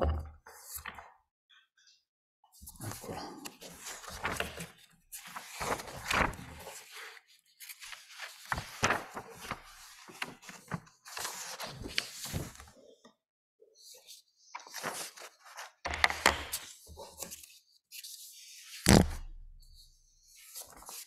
Allora, cominciamo uh, a leggere questo brano di, uh, dell'elogio degli uccelli. Cosa certamente mirabile è questa, che nell'uomo, il quale infra tutte le creature è la più travagliata e misera, si trovi la facoltà del riso, aliena da ogni altro animale. Mirabile ancora sia l'uso che noi facciamo di questa facoltà, poiché si veggono molti in qualche fierissimo accidente, altri in grande tristezza d'animo, altri che quasi non serbano alcun amore alla vita, certissimi della vanità di ogni bene umano, pressoché incapaci di ogni gioia e privi di ogni speranza, non di meno ridere. Il riso è specie di pazzia non durabile, oppure di vaneggiamento e delirio. Considerando che gli uomini, come sono infelicissimi sopra tutti gli altri animali, e Dio sono dilettati più che qualunque altro da ogni non travagliosa alienazione di mente, dalla dimenticanza di se medesimi, dalla intermissione per così dire della vita, donde o interrompendosi o per qualche tempo scemandosi loro il senso e il conoscimento dei propri mali, ricevono non piccolo beneficio. Ebbene, tutto ciò è presente in Bartoli. Vi cito una espressione riferita a un capitolo dei, dei simboli trasportati al morale all'interno delle opere morali, dove il riso è definito effetto d'allegrezza, ma più veramente insania d'animo per eccessivo dolore poco men che impazzato. Notate anche la bellezza stilistica. Cioè, in fin dei conti, è l'eccesso di dolore che determina il riso, che è una modalità di salvaguardia nei confronti della disperazione che eh, l'uomo prova. vi sono anche dei riferimenti che potrebbero approfondire paralleli alla figura di Democrito Ridente, è, a cui Bartoli dedica un capitolo della ricreazione del Savio, che torna in vari contesti leopardiani. Ma aggiungo, vi è un'altra notazione molto interessante, quella che per Leopardi il pianto preceda il riso e che il riso non sia vera la citazione virgiliana, ricordate? Che il bambino impara dal riso, cioè in qualche modo si soggettivizza a partire dal riso della madre. Anche in questo caso la dipendenza è dal passo di Bartoli che parla del riso come più tardo rispetto alle lacrime e lo definisce pellegrino imprevisto, un violento imprevisto e pellegrino shock in qualche modo di quest'anima che è un'anima che normalmente, naturalmente soffre. Qui è un lavoro interessante no? di mediazione di testi classici, di tradizioni classiche che in Bartoli vengono disposti in prospettiva apologetica e poi infine in Leopardi vengono recepiti ma per essere rovesciati. Quindi lo ripeto, il nucleo della natura matrigna, della natura rea, e della protesta nei confronti di questa natura rea è preso da Bartoli, che ovviamente cita tante fonti, tante fonti antiche, lo fa in prospettiva apologetica per confutarle, cioè per mostrare che la natura non è rea, non è matrigna, ma è benigna perché è dipendente da un Dio provvidente. Leopardi disattiva ovviamente questo, uh, questa confutazione di Bartoli che considera come non convincente. Consentitemi una piccola e ultima uh, notazione. Operette morali. Se il capolavoro della prosa italiana sono le opere morali di Bartoli, che vedete fino all'ultimo Leopardi sono così fortemente incidenti. Ripeto, sono il modello di prosa e Leopardi in una lettera del 19, quindi se, ha letto parecchio già, voglio dire, già Leopardi maturo, dice di avere soltanto le opere morali di Bartoli, no? quindi sono il testo di riferimento di Bartoli che lui ha. È possibile che il titolo di operette morali non sia una volontaria citazione, diminuzione in chiave appunto scettica, chiamiamola così, e polemica del capolavoro della prosa italiana, che per lui sono le opere morali. Ripeto, noi abbiamo il capolavoro della prosa italiana, le opere morali, e abbiamo il vero capolavoro, potremmo dire, della prosa italiana, sono le operette morali, che pretendono di rovesciarne la prospettiva in chiave ovviamente filosofica, in chiave quindi antiprovvidenzialistica, rifiutandone la teodicea e così via. Allora, chiudo.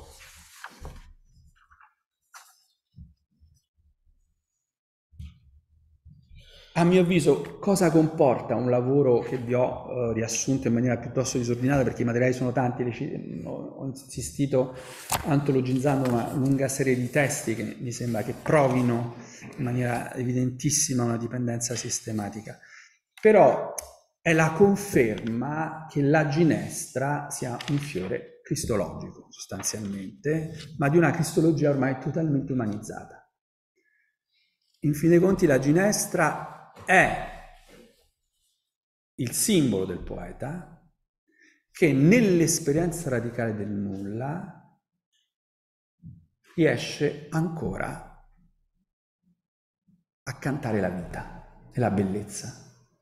Protesta nei confronti della violenza del mondo e testimonia una dimensione irriducibile di bene, di bontà, sono di carità secolarizzata sostanzialmente. Sappiamo no, qual è il motivo civile, il rifiuto della guerra, il rifiuto della violenza. Questo che cosa vuol dire? Che la struttura della ginestra, lo ripeto, diventa una, davvero una struttura dialettica di tipo apocalittico, di tenebra luce, ma che la luce questa volta è affidata alla poesia di un martire. Cioè, in fin dei conti, dobbiamo riflettere se non che lo faccia io, ci sono già studi, qui voglio citare anche Franco Dintino che mi ha dato delle indicazioni preziose, un filo rosso prezioso. Pensate a riflettere di Leopardi in dimensione in fondo martiriale, cioè il poeta è un martire della bellezza e della verità, per riprendere il titolo del nostro incontro. È un martire della bellezza e della verità, è un martire del bene, è un martire che si oppone al mondo e che recupera la figura esemplare di Cristo mediando, come dire, dimensione stoica, ma addolcita da questo senso profondo della solidarietà nei confronti dell'inerme, dell'ultimo, del perseguitato sostanzialmente, di ciò che non ha né gloria né bellezza nell'uomo dei dolori, leggere la ginestra senza questa struttura cristologica, a mio parere, non ci consente di cogliere non soltanto un grado di bellezza e di profondità ulteriore, ma anche la sua dimensione eversiva e addirittura il suo coraggio di prospettiva di fuoriuscita dal cristianesimo. Allora, cioè, come dire, qui io cito un'espressione di, proprio di Nietzsche, non riuscire mai a farla finita col cristianesimo. Cioè non riuscirne mai a uscire fuori davvero. A mio parere, da questo punto di vista, la ginestra dà un'indicazione di questo tipo, cioè il tentativo di prospettare un'etica e una poetica post-cristiana che però continua ancora ad essere consapevolmente e volutamente segnata dall'esemplarità cristiana. Mi fermo qui, poi magari nel dibattito aggiungiamo qualche cosa.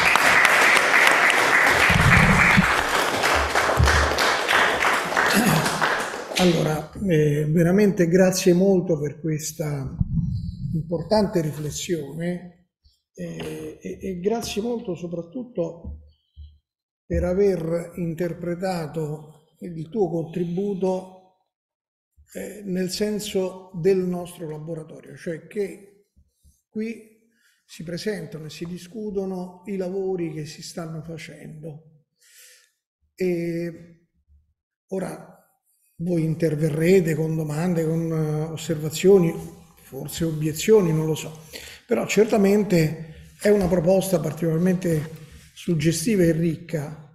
Mi permetto di aggiungere che mh, eh, spesso gli interpreti che sono dotati di, di, di vastissima cultura e di grande sensibilità, però forse oggi, oggi negli ultimi decenni, eh, frequentando di meno la letteratura biblica e poi eh, apologetica, comunque legata al cristianesimo, che era invece il terreno in cui è stato cresciuto Leopardi, talvolta magari non colgono alcuni aspetti che avrebbero potuto cogliere se eh, dire, avessero, avuto, avessero tenuto presenti questo tipo di letteratura. E Gaetano, che è così non solo sensibile ma anche eh, gran conoscitore della letteratura cristiana, ha potuto dare questo tipo di lettura. Io poi, lo dico subito, ho tantissime cose da dire, ma ovviamente in quanto moderatore mi, adesso no, no, do la parola a voi, do prima la parola a voi. E... Io volevo ringraziare Gaetano. Scusa un attimo, stavo parlando. E a coloro che sono intervenuti e coloro che non sono ancora intervenuti in questo dibattito negli altri giorni. Prego Massimiliano, volevi aggiungere, dire sì, qualcosa? Volevo volevo ringraziare veramente tanto Mas- eh, Gaetano eh, perché ha, ha chiarito una delle funzioni di questo istituto. Cioè, que- questo istituto è senz'altro sempre e comunque dalla parte di Spartaco. Questa potrebbe essere una parola d'ordine del, dell'Istituto Italiano per gli Studi Filosofici. Ma la, la questione del deserto e della ginestra. La questione che l'avvocato Gerardo Marotta ha voluto creare delle scuole in ogni territorio più remoto eh, del mezzogiorno d'Italia, ha voluto eh, inseminare il deserto con dei fiori, è questione che noi dobbiamo riprendere nonostante la nostra mancanza di finanziamenti. Noi dobbiamo andare nei luoghi, nei luoghi più desertici del Mezzogiorno d'Italia e inseminarli con la parola di Gaetano Lettieri, con la parola di questi grandi interpreti del pensiero poetico, del pensiero filosofico, del pensiero religioso. Questo deve essere il nostro obiettivo, Massimiliano. Dobbiamo continuare per questa, in questa direzione. Io spero di essere stato chiaro, Gaetano. Sì, sì, ma siamo sulla stessa lunghezza d'onda, ne sono convinto. Cioè, se- senza di questo siamo perduti, cioè il deserto avanza, no? Quindi, finisce per citare. E, e dobbiamo andare nel deserto, dobbiamo andare nel deserto, dobbiamo essere ginestre e, e, e, e impedire la desertificazione dei luoghi e la desertificazione degli spiriti. Questo deve essere un nostro obiettivo, altrimenti la Repubblica è perduta. Ma guarda Massimiliano, io ti vorrei dire questo, mm, che in fin dei conti è la combinazione tra, per me che sono un cristianista, cioè quando io sento deserto, cioè mi viene subito in mente Isaia, il deserto fiorirà, cioè la dialettica deserto-fiore è fondamentale. Io ho tagliato una marea di riferimenti biblici. Pensate a Isaia 11.1, no? Il riferimento è al fiore di Jesse. Se voi prendete appunto lo scritto sulla crocifissione giovanile di Leopardi, che cosa c'è sul Calvario che è questa montagna dell'orrore? C'è il fiore di Jesse. Allora, questi contrasti sono contrasti che immediatamente tornano evidenti nella ginestra. Non è che Leopardi ha cancellato, dire, la sua lettura o la sua modalità di, eh, di, la sua forma mentale perdendo la fede, è rimasta quella. Ma tu dicevi una cosa fondamentale, cioè in fondo il problema della dialettica tra deserto e fiore è il problema del senso che noi diamo al nostro iure civile, ha una dimensione etica fortissima e potentissima. E la questione è, quando la religione tramonta o finisce, o siamo alla fine del cristianesimo, cosa progettare, come progettare, con quali simboli, con quali metafore, quali, in fin dei conti, da questo punto di vista davvero da Vico a Leopardi, il poetico ha una razionalità che struttura il nostro modo anche di interpretare il reale. L'immaginario quindi mantiene una razionalità assolutamente irrinunciabile. Questo è un altro elemento per cui eh, anche qui tutti i riferimenti, ricordate, alla resurrezione, no? della, della, appunto l'esaltazione del rinascimento che sono al centro della ginestra come contestazione del secolo superbo e sciocco che ha voltato le spalle al lume, alla razionalità che era risorta. Solo per cui risorgemmo. Allora, cosa significa questo? Significa che ancora una volta però l'immaginario è quello cristologico che non viene utilizzato per prenderlo in giro, ma perché comunque indica una dialettica tra esperienza della nullità del deserto, dell'idiozia dominante, diciamo la verità, dell'idiozia dominante, e possibilità no? del miracolo, del miracolo del bene e della bellezza sostanzialmente. Allora ci serve identif- identificare queste dialettiche dell'immaginario, simboliche, metaforiche, per citare l'opera di Bartoli, il simbolo rivolto in morale.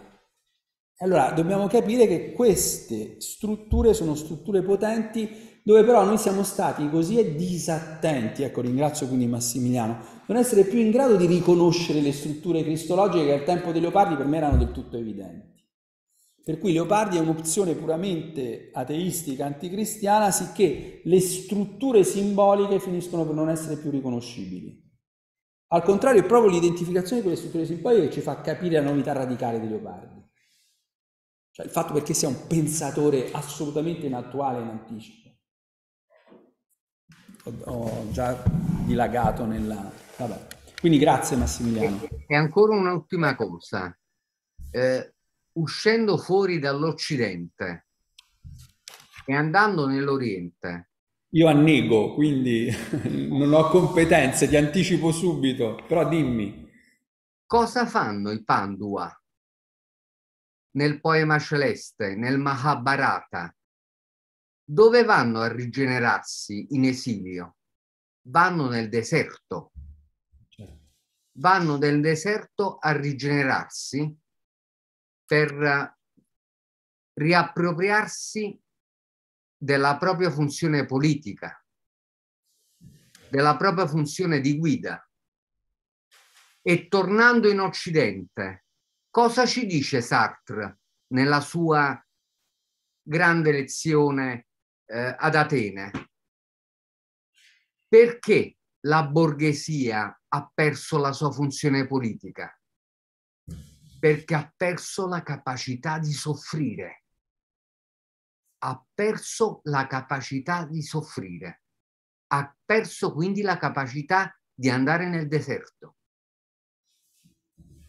Su queste questioni noi dobbiamo assolutamente riflettere. Dobbiamo assolutamente riflettere. Perché l'Occidente è allo sbando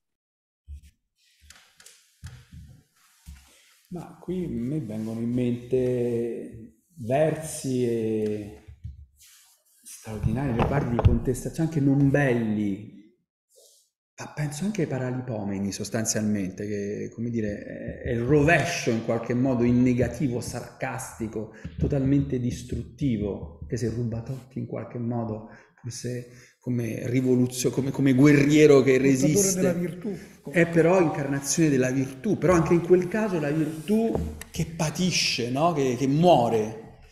Però le pagine di Leopardi di contestazione al, al mondo dei consumi che emerge, no? dalle pentole ai fiocchetti, sono di una lucidità straordinaria.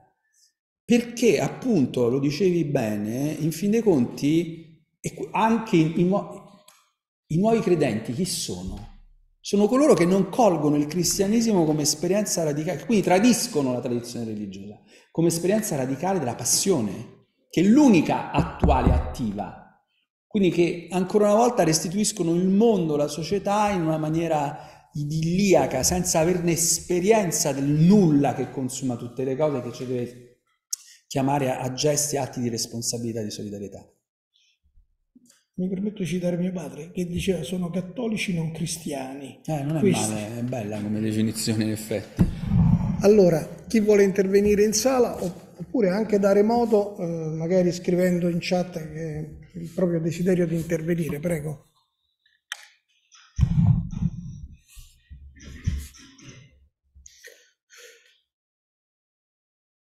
Non mi fate rompere il ghiaccio perché ho una rompighiaccio in questo momento. Prego. Eh, però no, se No, no, no, ma io vorrei Basta, che prima due... intervenisse chi è in sala oppure chi è da remoto che ci sta ascoltando. Prego. Dunque, allora... La signorina, ora... Allora, la signorina qua, prego.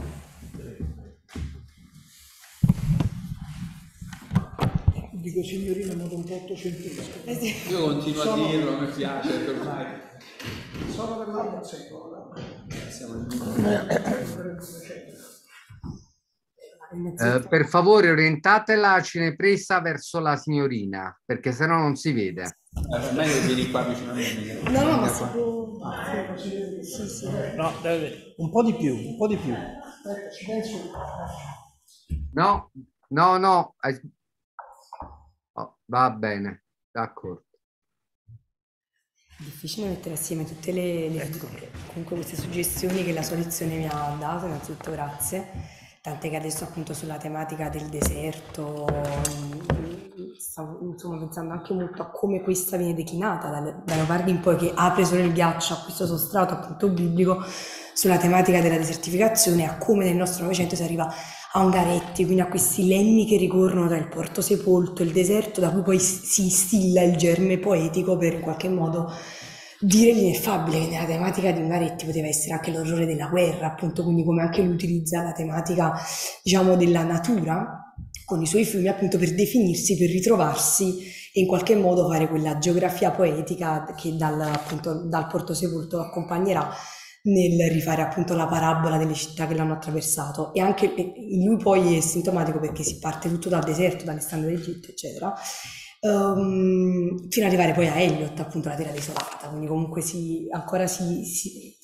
si, usa ancora forte questa metafora. La mia era più che altro una domanda, se abbiamo detto che uh, appunto lei ha trovato... Dici da due poeti sì. credenti. Eh, appunto, che... quindi uh, come questa appunto è, è, è facile per loro riproporre questa metafora Uh, per cui appunto non c'è la stessa ambiguità che permane appunto in Leopardi, sebbene appunto lei è stato forte nel definirlo appunto questa, questa atea cristologia appunto con cui Leopardi la ripropone, quindi con lui la questione è ancora più comunque problematica e in qualche modo risolta, aperta.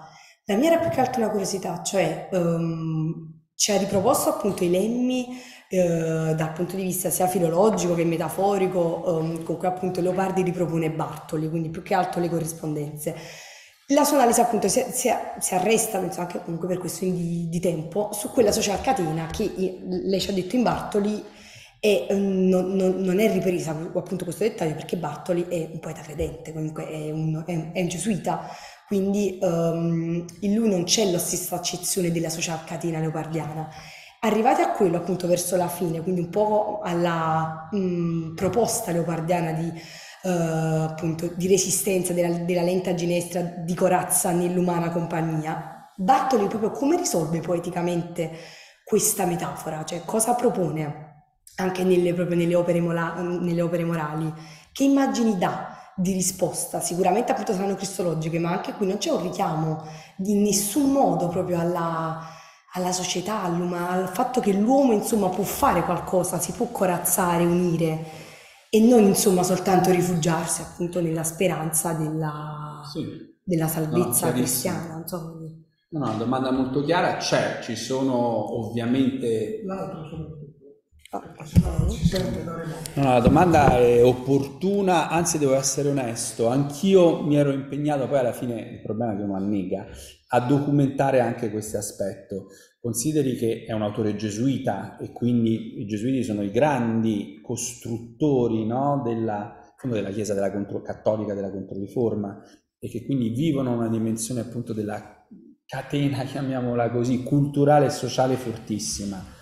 Eh, certo, pensa, pensa anche alla, alla, povertà contenta, come dire, è facile per qualsiasi autore cristiano, no? Cioè, eh, la dimensione della carità è una dimensione di eh, connessione quasi ovvia, cioè ad esempio la possibilità di vivere senza la volontà di primeggiare, la violenza, la ricchezza, la concorrenza, significa essere universalmente solidari nei confronti della fragilità delle creature. Eh, quindi è forte, addirittura ci sono anche degli elementi in cui Pare, pare che qui Bartoli recuperi eh, prospettive epicuree.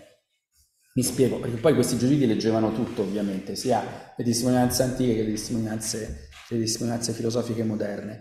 Eh, cioè come se ci fosse, in fondo quello su cui insiste lo stesso Leopardi, un'esigenza, no? quando lui ricorda ciò che per prima ha fondato la, socia- la socialità, in fondo è l'orrore le- dell'esistenza, è lo spavento, è la paura, no? quindi questi elementi eh, epicurei e poi lucreziani, grande problema, ha letto come ha letto Lucrezio, non voglio aprire queste cataratte, però sicuramente lui ha, letto, ad esempio in Bartoli, tutta una serie di testi classici immediati che aveva a disposizione immediatamente. Allora lì ci sono anche degli elementi un pochino più vicini a quanto, a quanto lei indica, cioè una socievolezza naturale dell'umano che ovviamente viene vista in termini positivi, che non riesce a diventare alternativa all'amore evangelico, alla carità evangelica, che ovviamente è ubiqua, ma che però dà traccia di elementi culturali, di prestiti culturali che vengono recepiti. Quindi, a mio avviso, non che, in fin dei conti, comunque, voglio dire, non c'è bisogno, per questo io non mi sono incaponito, cercare aspetti di questo tipo, per cui il rischio è quello del vicolo cieco, per come dire, in maniera meccanica dire che Leopardi se c'ha un'idea la deve prendere in Bartoli, non so se mi spiego. Sì.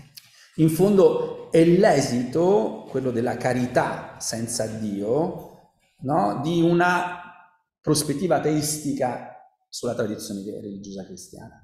Cioè rimane, cosa rimane? Rimane l'amore per l'altro, la solidarietà, il compatire. Cioè se il modello è quello della ginestra che patisce, la ginestra però compatisce, evidentemente il modello è quello appunto del Cristo che è uomo dei dolori che compatisce con i dolori del popolo.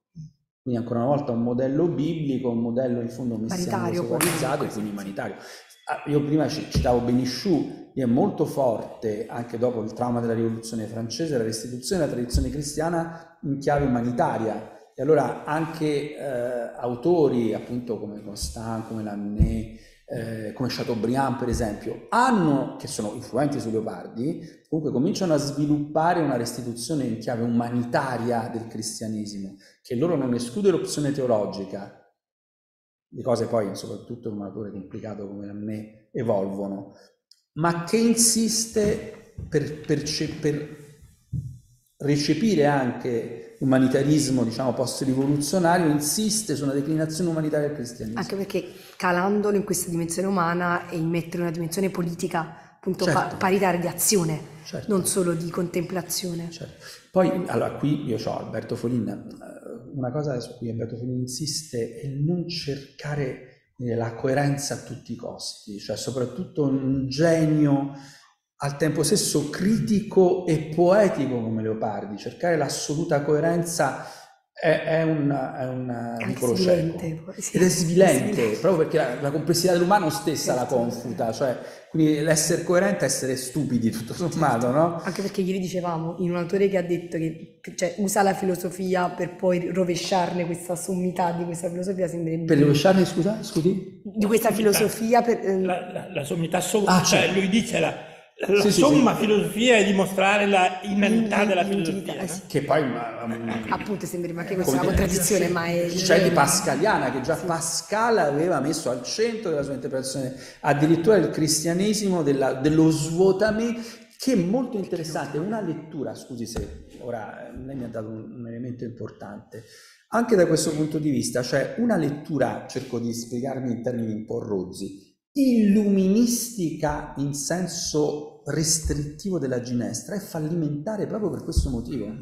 perché non riesce a render conto del disastro, del deserto, no? della insensatezza e della resistenza alla razionalità in qualche modo, no? se non appunto nella dimensione della totale disperazione del dubbio, e spegne totalmente quello che invece è proprio del genio e che è attivare comunque significati.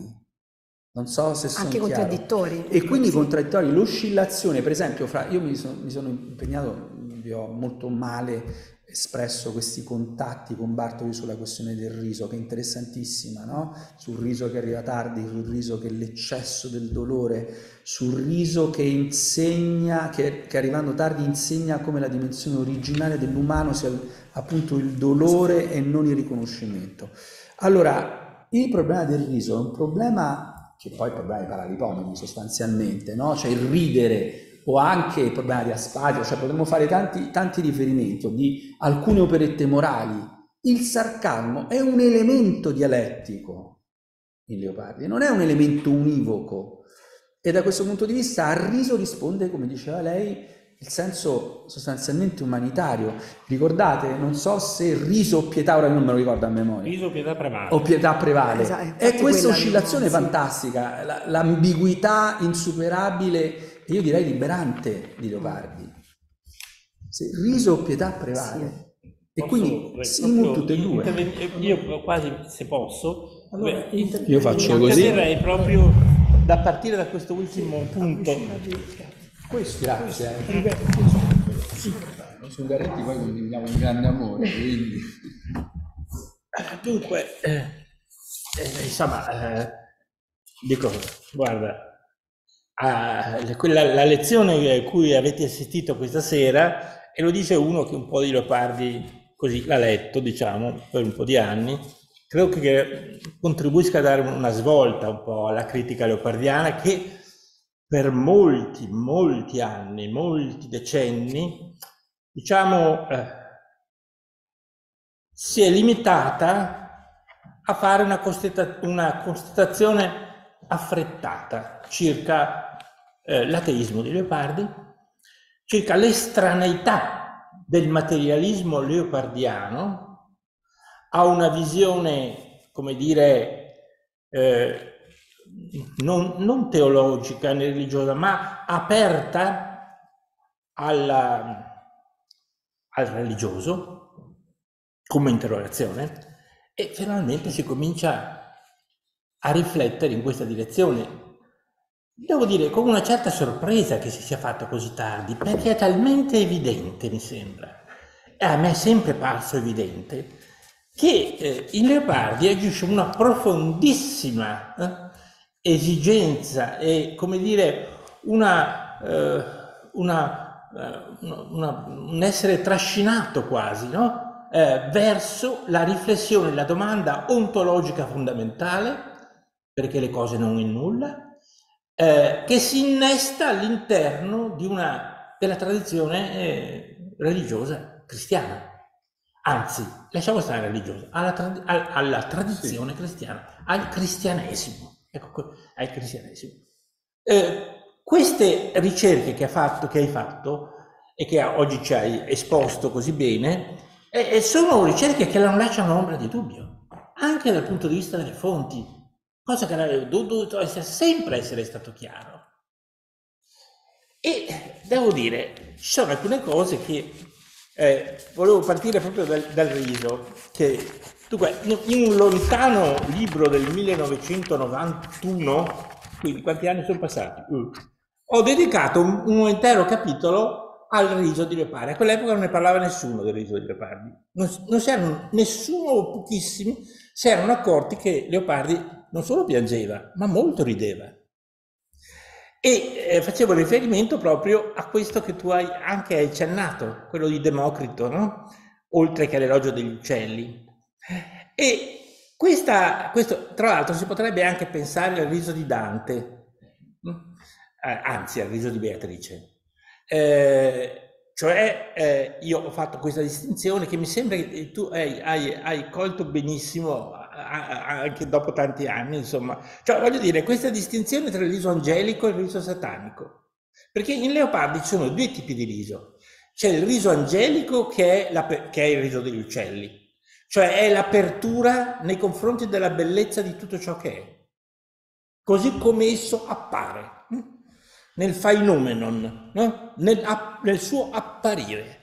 E dall'altra parte c'è il riso, per esempio, alla fine del eh, canto a Spasia, dove eh, eh, qui eh, si getta sulla, su, sulla, eh, sull'erba, eh, miro il cielo, miro e sorrido. Eh? Questo sorriso è il sorriso della vendetta invece. In Leopardi c'è il sorriso angelico, oltre che il sorriso, ma prevale soprattutto alla fine. Allora, ritorno qui al, al, a, a un punto fondamentale.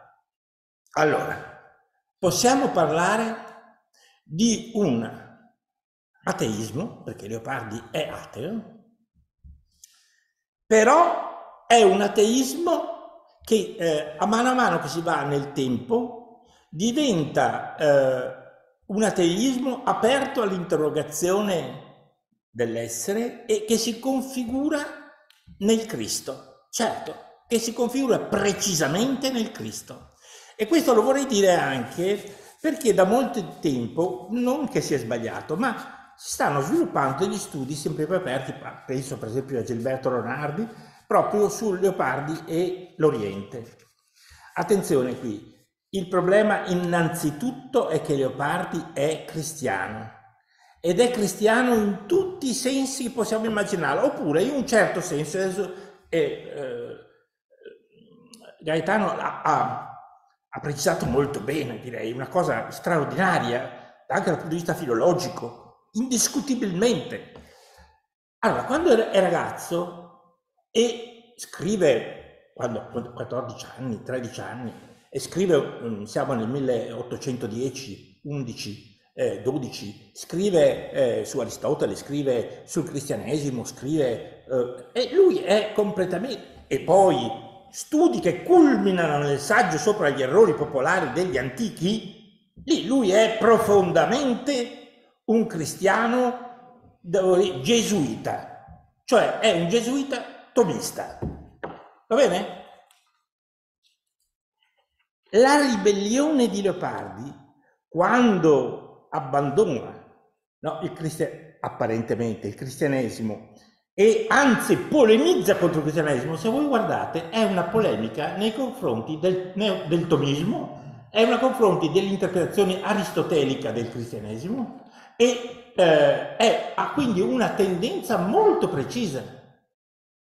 Prendiamo, eh, prendiamo eh, quando inizia questa fase, ecco che inizia la eh, eh, Leopardi non se ne accorge, a mio avviso, non se ne accorge che il rapporto con, eh, che si predispone a pensare il Cristo, eh, ossia la sofferenza, la fragilità. Io ho parlato con, proprio con Gaetano qui, no? Eh, all'istituto, abbiamo fatto quel bel dialogo assieme sul sacro.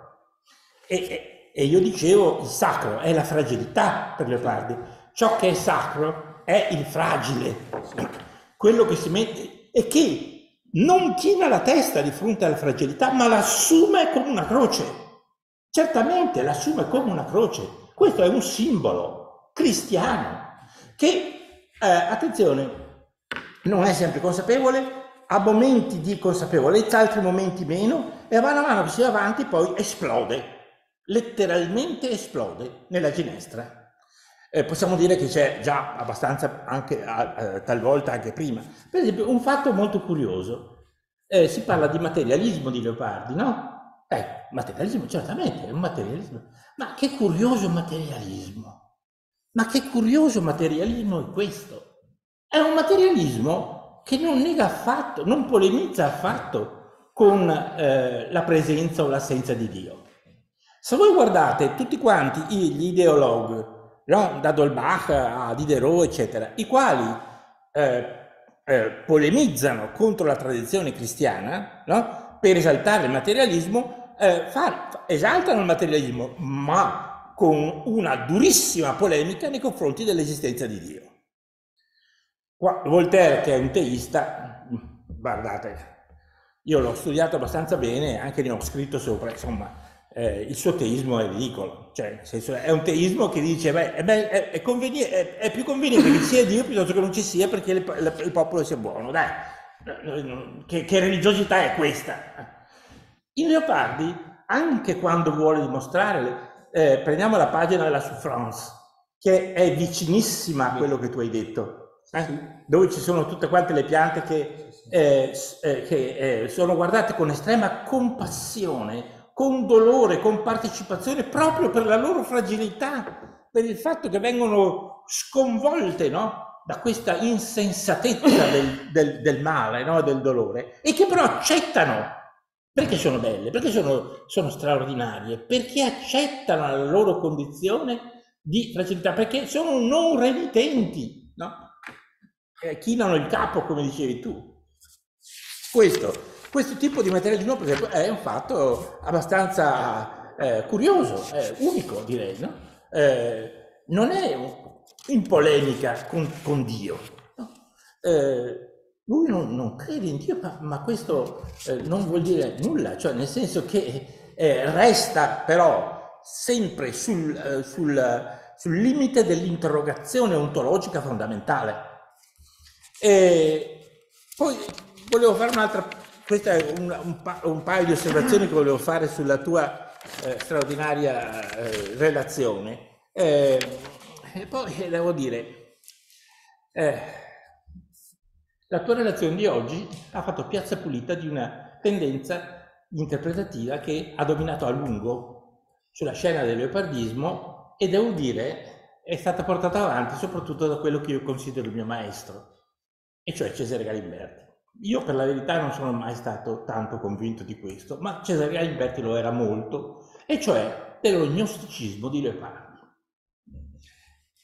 Il discorso che tu fai oggi fatto, è dimostrazione assoluta dell'assoluto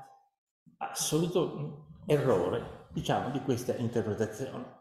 Leopardi non è, è il contrario, è l'opposto di un gnostico, perché Leopardi eh, esalta e continua a, a pensare che l'unica esistenza possibile sia la terra, sia la carne, sia il corpo, la corporeità della vita è fondamentale per lui, è il rovescio di ciò che pensavano gli gnostici e dell'impostazione gnostica.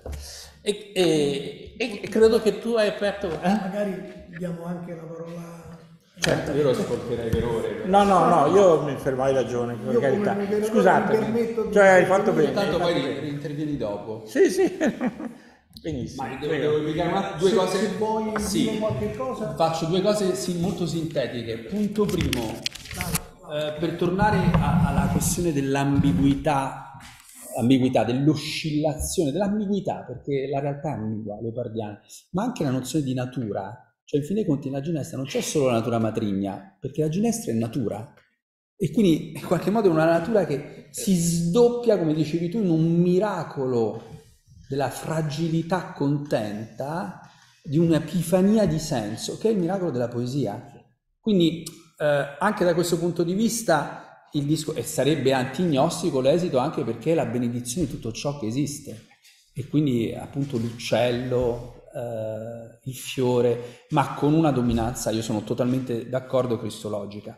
Secondo, io volevo segnalare, non lo leggo perché il tempo è poco, non voglio togliere tempo al dibattito, un pensiero di Leopardi per dire quanto rimanga cristiano.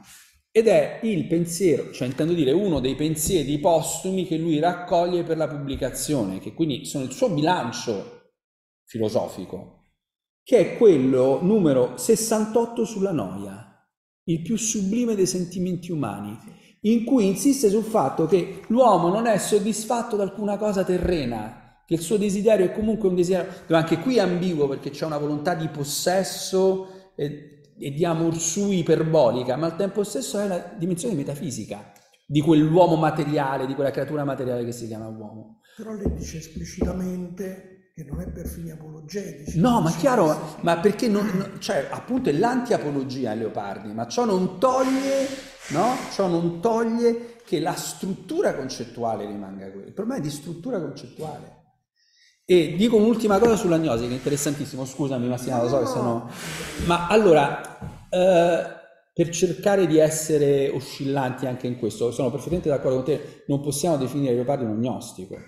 Cioè, eh, anche no, l'abbozzo dell'inno eh, da rimane, cioè è, rimane una, una, una meravigliosa indicazione che però è in qualche modo un'indicazione ateistica. Cioè un Dio così è meglio che non esista. E comunque è, una, è, un, è, un, canto che lui non ha mai pubblicato. Che non ha pubblicato. E non per caso. Vabbè, comunque al di là di questo. Però cosa può essere interessante? Io qui ho citato Artaud. Uh, qui c'è stata una io ce l'ho con questa mia allieva bravissima che non l'ha pubblicata questa tesi di dottorato, in cui si segue l'ognosticismo di Artaud. Perché è interessante? Perché io vedo qualcosa di analogo ai leopardi, cioè prima una possibilità di svuotamento no, nichilistico no, e di denuncia della creazione sostanzialmente come qualcosa di malfatto, mal riuscito però al tempo stesso lo svuotamento della teologia porta in Artaud, a partire da un meccanismo gnostico, alla bestemmia nei confronti del Dio trascendente e alla, fra virgolette, divinizzazione di sé, prima del, dell'uomo Gesù, e poi di sé come sofferente, una frase meravigliosa di Artaud, vale, più il suono dei miei passi che tutta l'eternità. Una cosa bellissima da un punto di vista della, del rovesciamento gnostico. Cioè, basta una, un'indicazione di questo tipo, vale più il suono dei miei passi di tutta l'eternità. Allora, io vedo un movimento di questo genere in, in Leopardi, che però, quindi, come dire, attraverso una, una oscillazione gnostica che gli serve per benedire ogni aspetto della creazione, che veramente gesuitico, uno potrebbe dire come, come imprinting, no? E quindi in dimensione gnostica. Mi fermo qua. Allora, chi è che vuole intervenire? Anche da remoto, se qualcuno vuole intervenire, eh, può chiedere la parola. So Fabiana se vuoi dire qualche cosa, prego. Fabiana, tu sei una maestra della ginestra, io un, dilettante. No, no, mi... no, no, però volevo dire qualcosa per i ragazzi, per ah. dare un'altra, qualche altro piccolo elemento.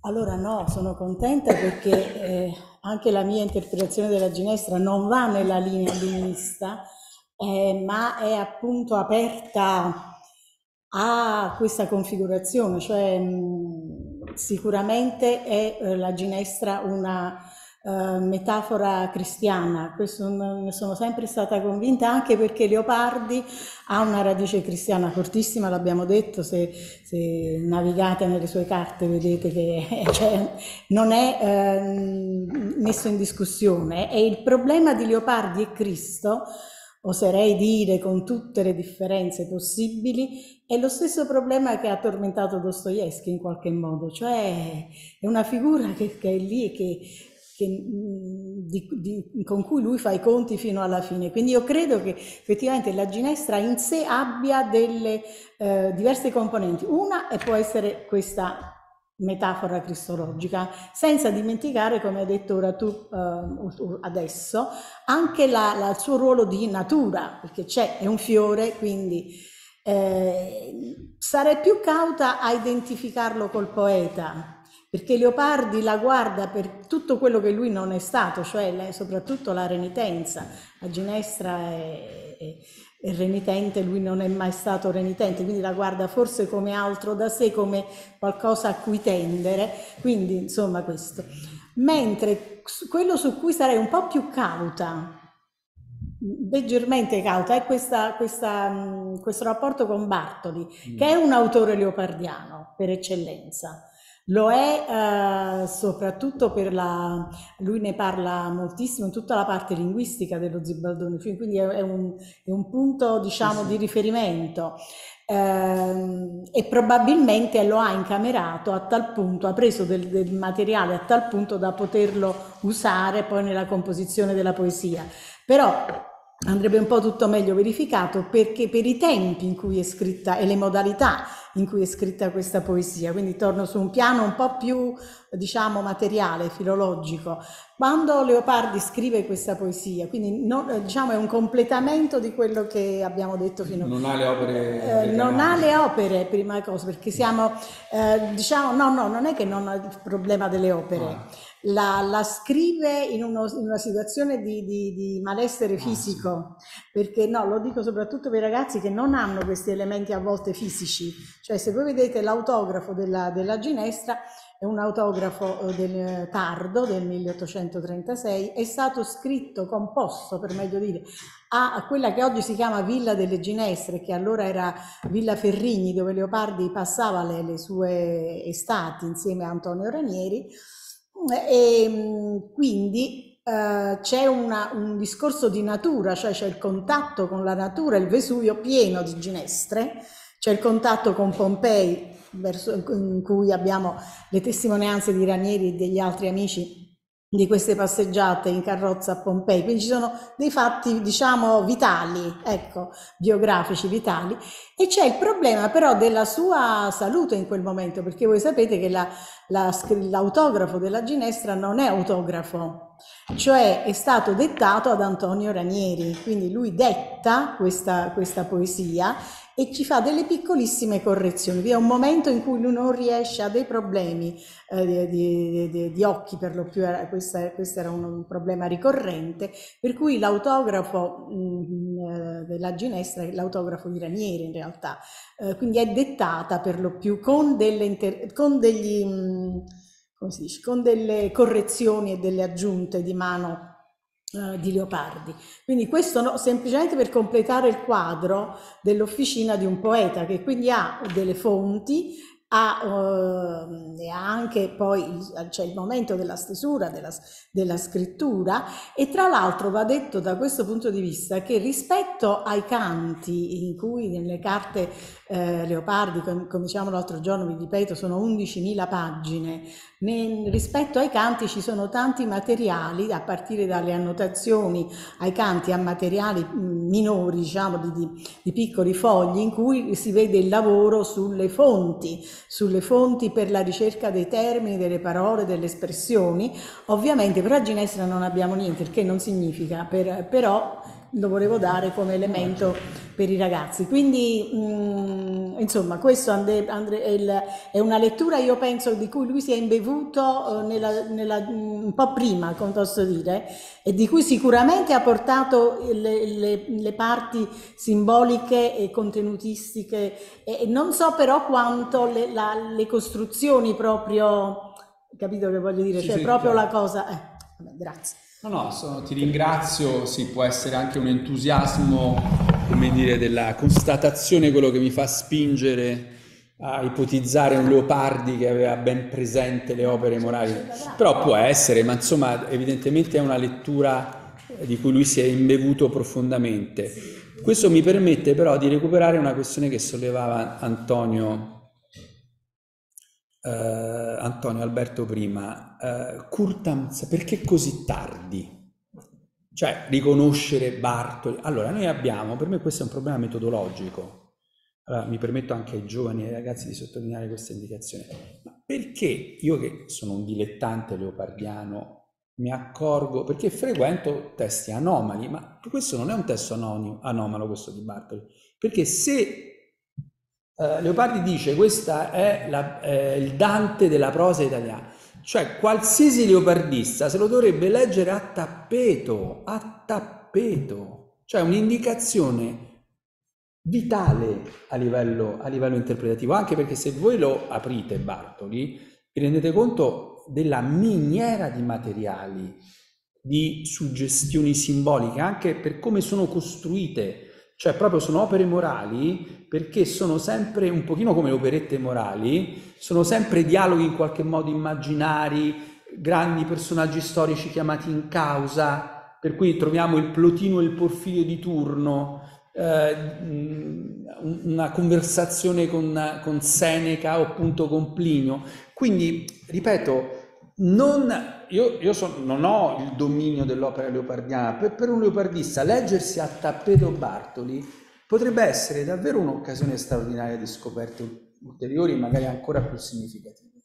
Seconda questione, quindi c'è un tabù ideologico, perché così tardi? Perché c'è un tabù ideologico, perché il materialismo leopardiano è stata una evidenza oggettiva del suo pensiero, ma anche una maledizione dal punto di vista interpretativo perché diventa una forma di censura e di liberazione dal compito per me assolutamente doveroso di documentazione sulle letture leopardiane. Ma io faccio un esempio, eh, c'è quella, ora non mi ricordo l'anno, mi pare che sia del 23, 21-23, quella eh, intervento di eh, Leopardi sulla cronica di Eusebio di Cesarea, dove, ricordate, c'è uno stranissimo esempio che eh, Leopardi fa, rubo un minuto, cioè dice è una raccolta di mai, cioè polemizza contro mai, voi sapete l'importanza di mai, no? E dice che l'edizione dei frammenti vengono pubblicati nella cronica, la traduzione latina di mai della traduzione dall'armeno, di un gesuita o di un religioso, e in più Mai raccoglie vari frammenti. E Leopardi dice, i frammenti di Mai fanno, ricordano la tesi di Democrito ed Epicuro di un mondo che viene agitato praticamente casualmente con degli elementi che a casaccio poi vengono buttati e che alla fine dovrebbero restituire una composizione sensata, così come se bastasse, sintetizzo, un gioco di dati per avere eh, le storie di Livio. Allora, questo esempio è identico nella ricreazione del Savio di Bartoli, cioè, ed è nel testo lì di Leopardi, ripeto, sulla cronica di Eusebio di Cesarea eh, contro Mai, mi pare sia del 23, riscomposto nel 21 e pubblicato nel 23. È ancora un Leopardi antimaterialista e antiatomista e anticasualista, che è molto interessante. E allora lì c'è ancora una ricezione in qualche modo passiva. Allora, questo per darvi un esempio, che se uno si legge Barto, ci sono tanti elementi che possono tornare. E poi chiudo, io su, allora, su Cristo, questa è una cosa che mi, mi induce a pensare, in fondo io trovo poco su Cristo nei Leopardi. Cioè come, a mio parere, se, al di là delle cose giovanili ovviamente, e al di là della ginestra, è come se rimanesse forse per la sua fragilità, veramente un luogo del sacro. Ora, al di là di alcune lettere, di alcune... Allora, questo è molto interessante, cioè questo silenzio quasi degli apologisti no, cristiani che non nominavano mai Cristo, no? Cioè, perché così poco? E perché questa esplosione, come diceva Alberto alla fine? Perché evidentemente lì c'è un luogo della rivelazione del sacro, in senso forte filosofico, eh? Cioè non nel senso banale del termine. Cioè lì c'è il punto, il punto, proprio perché se ne parla così poco. E chiudo, sul poeta Ginestra, l'ho detto malissimo, me ne rendo conto della tua perplessità. Io non dico di essere convinto perché la convinzione è dire, atteggiamento degli stupidi, però penso che se ci si lavora si riesce a spiegare, insomma, in fondo la ginestra è un po' come l'uccello, sì una componente della, un componente della natura, ma è anche una metafora del canto poetico e della fioritura della bellezza e della dignità dell'umano nella sua fragilità e nella sua propria dimensione, come ho detto io, kenotica. E quindi il poeta è colui che si fa carico razionalmente del disastro, ma al tempo stesso che è testimone del senso, nel senso ambiguo del termine, no? che è un senso materiale ed è un senso del, dell'immaginazione, della poesia e dell'etica, cioè dell'umano, perché poi l'uomo vive di questa illusione del senso. Allora, ci sono altre domande?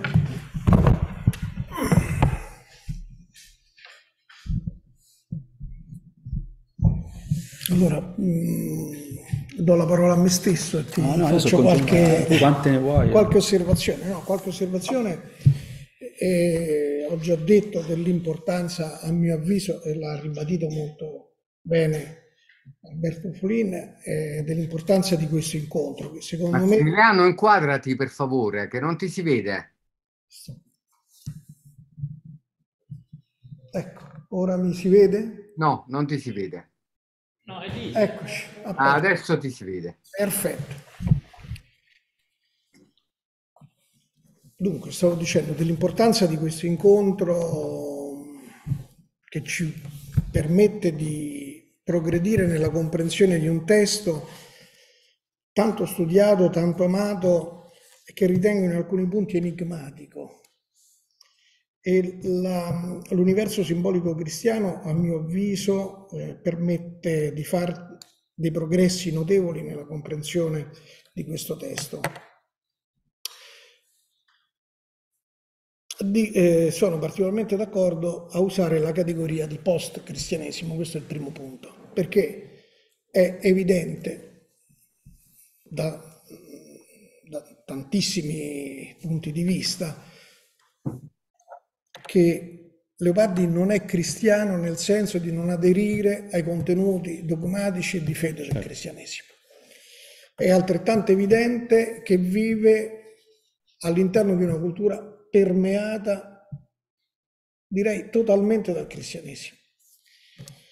Pur aderendo in modo esplicito, lo dice nella Ginestra, alla filosofia del secolo precedente, cioè la filosofia illuministica. Anche qui, giustamente, tu hai detto, beh, c'è un illuminismo ristretto, ma appunto ci sono tanti illuminismi al plurale, dobbiamo parlare di illuminismo, sì, sì. No? E, Leopardi certamente è vicino all'illuminismo più radicale, dal quale peraltro è lontano per gli aspetti polemici che non condivide. La mia lettura è diversa dalla vostra, da questo punto di vista io ritengo che lui la, la ritiene una, come dire, una questione sostanzialmente liquidata, quella della teodicea e di, e di, Dio. Cioè, è evidente che le cose, questo è il mio punto di vista. Eh, ma la Ginestra parla di quello, dell'impossibilità della teodicea, Appunto, però. Sì, cioè, sì, sì, sì cioè la liquida in, in versi, sì, sì, siamo d'accordo. Sì, sì. Siamo, no, siamo d'accordo. disaccordo. Eh, questo significa che eh, il verso eh, giovanneo che è posto in esergo ci dice una cosa fondamentale, che siamo in una situazione in cui, in una situazione speculare rispetto al cristianesimo. Qui ti mira e qui ti specchia. Questo specchia non è semplicemente, a mio avviso, un verbo che indica rispecchia di qua e ti ritroverai. No, eh, lo specchio ci restituisce un'immagine invertita. Sì. No? Tu che sei credente, guarda quello che succede con il monte Vesuvio che stermina con, con suprema indifferenza uomini e città e guarda se puoi, come dire, mantenere le tue convinzioni davanti a questo. Però io ti faccio vedere un paesaggio invertito, ma l'inversione significa che io uso le categorie che inverto, cioè non sto al di fuori di quell'universo simbolico, semplicemente do un significato diverso a quegli stessi simboli. E, e sono assolutamente d'accordo su questa insistenza sulla eh, vicinanza, anzi lettura della ginestra come Cristo, come figura di Cristo, cristica, del sacrificio. Innanzitutto notiamo una cosa, che eh, stiamo parlando di piante, è, è singolare che Leopardi, quando parla della sofferenza, il brano famoso del giardino, eh, parli delle piante e non degli animali. Eh, forse la sofferenza animale potrebbe essere qualcosa di molto più vicino e simpatetico a noi, invece parla delle piante.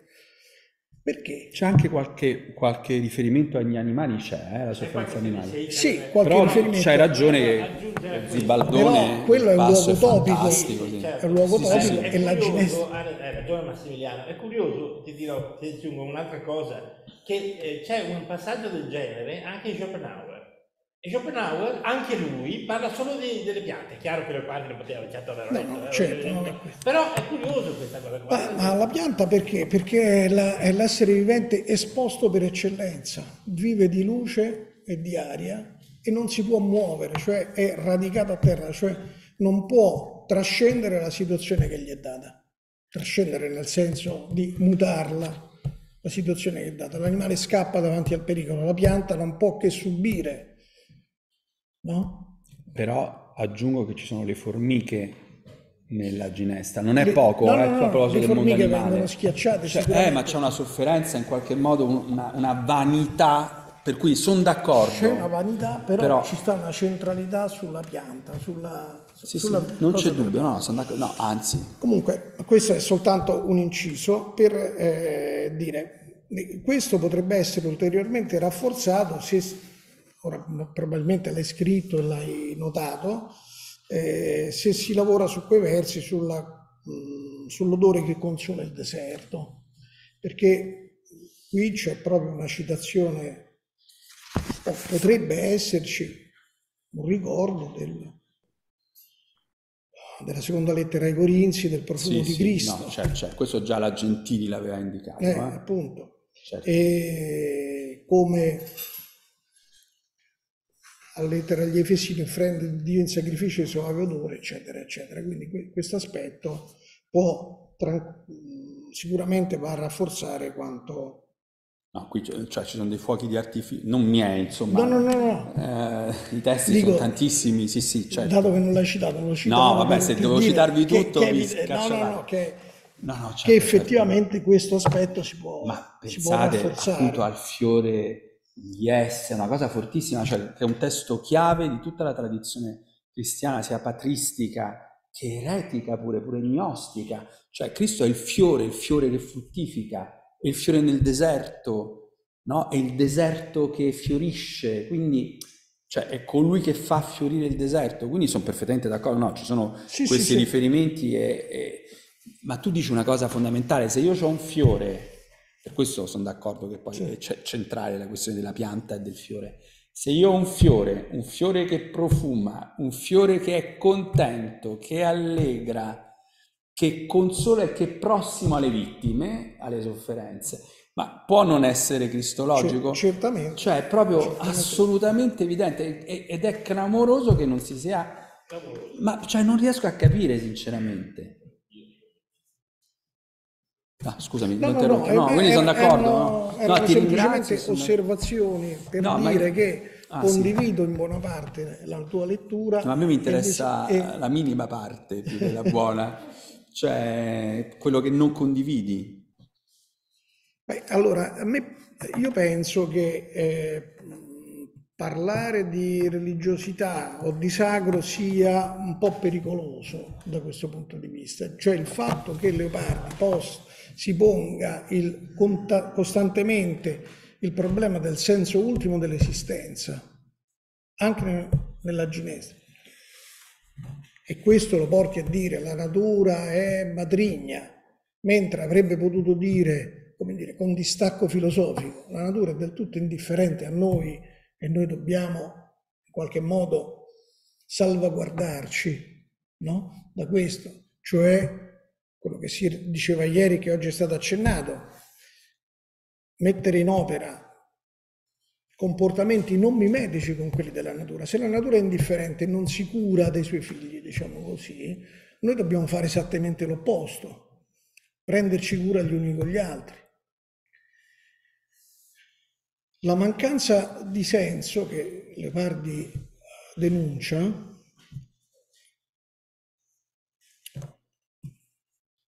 Tuttavia, a mio avviso, non apre a una dimensione del sacro o a una qualche sua religiosità. Semplicemente è una denuncia che viene fatta con i termini culturali che erano a sua disposizione e che riteneva più idonei. In questo, in questo senso, l'universo simbolico cristiano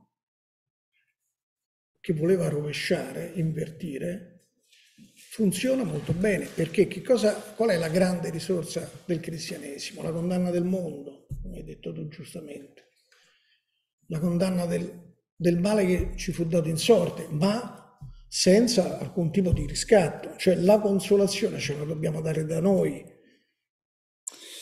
allora, cioè... Non ci può essere un consolatore che ci verrà dato. No, ma è chiaro, per esempio nella ginestra, no, quando dicono che si illudono, scusate adesso faccio una vai. indegna, che le, le, divinità che hanno creato il mondo discendano a conversare con gli uomini. Qui, quella è chiaramente una denuncia non soltanto di tanti miti pagani, ma soprattutto della dottrina dell'incarnazione.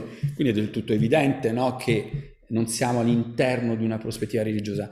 Però, allora, eh, a mio parere, sulla questione del religioso in Leopardi dobbiamo continuare a ragionare.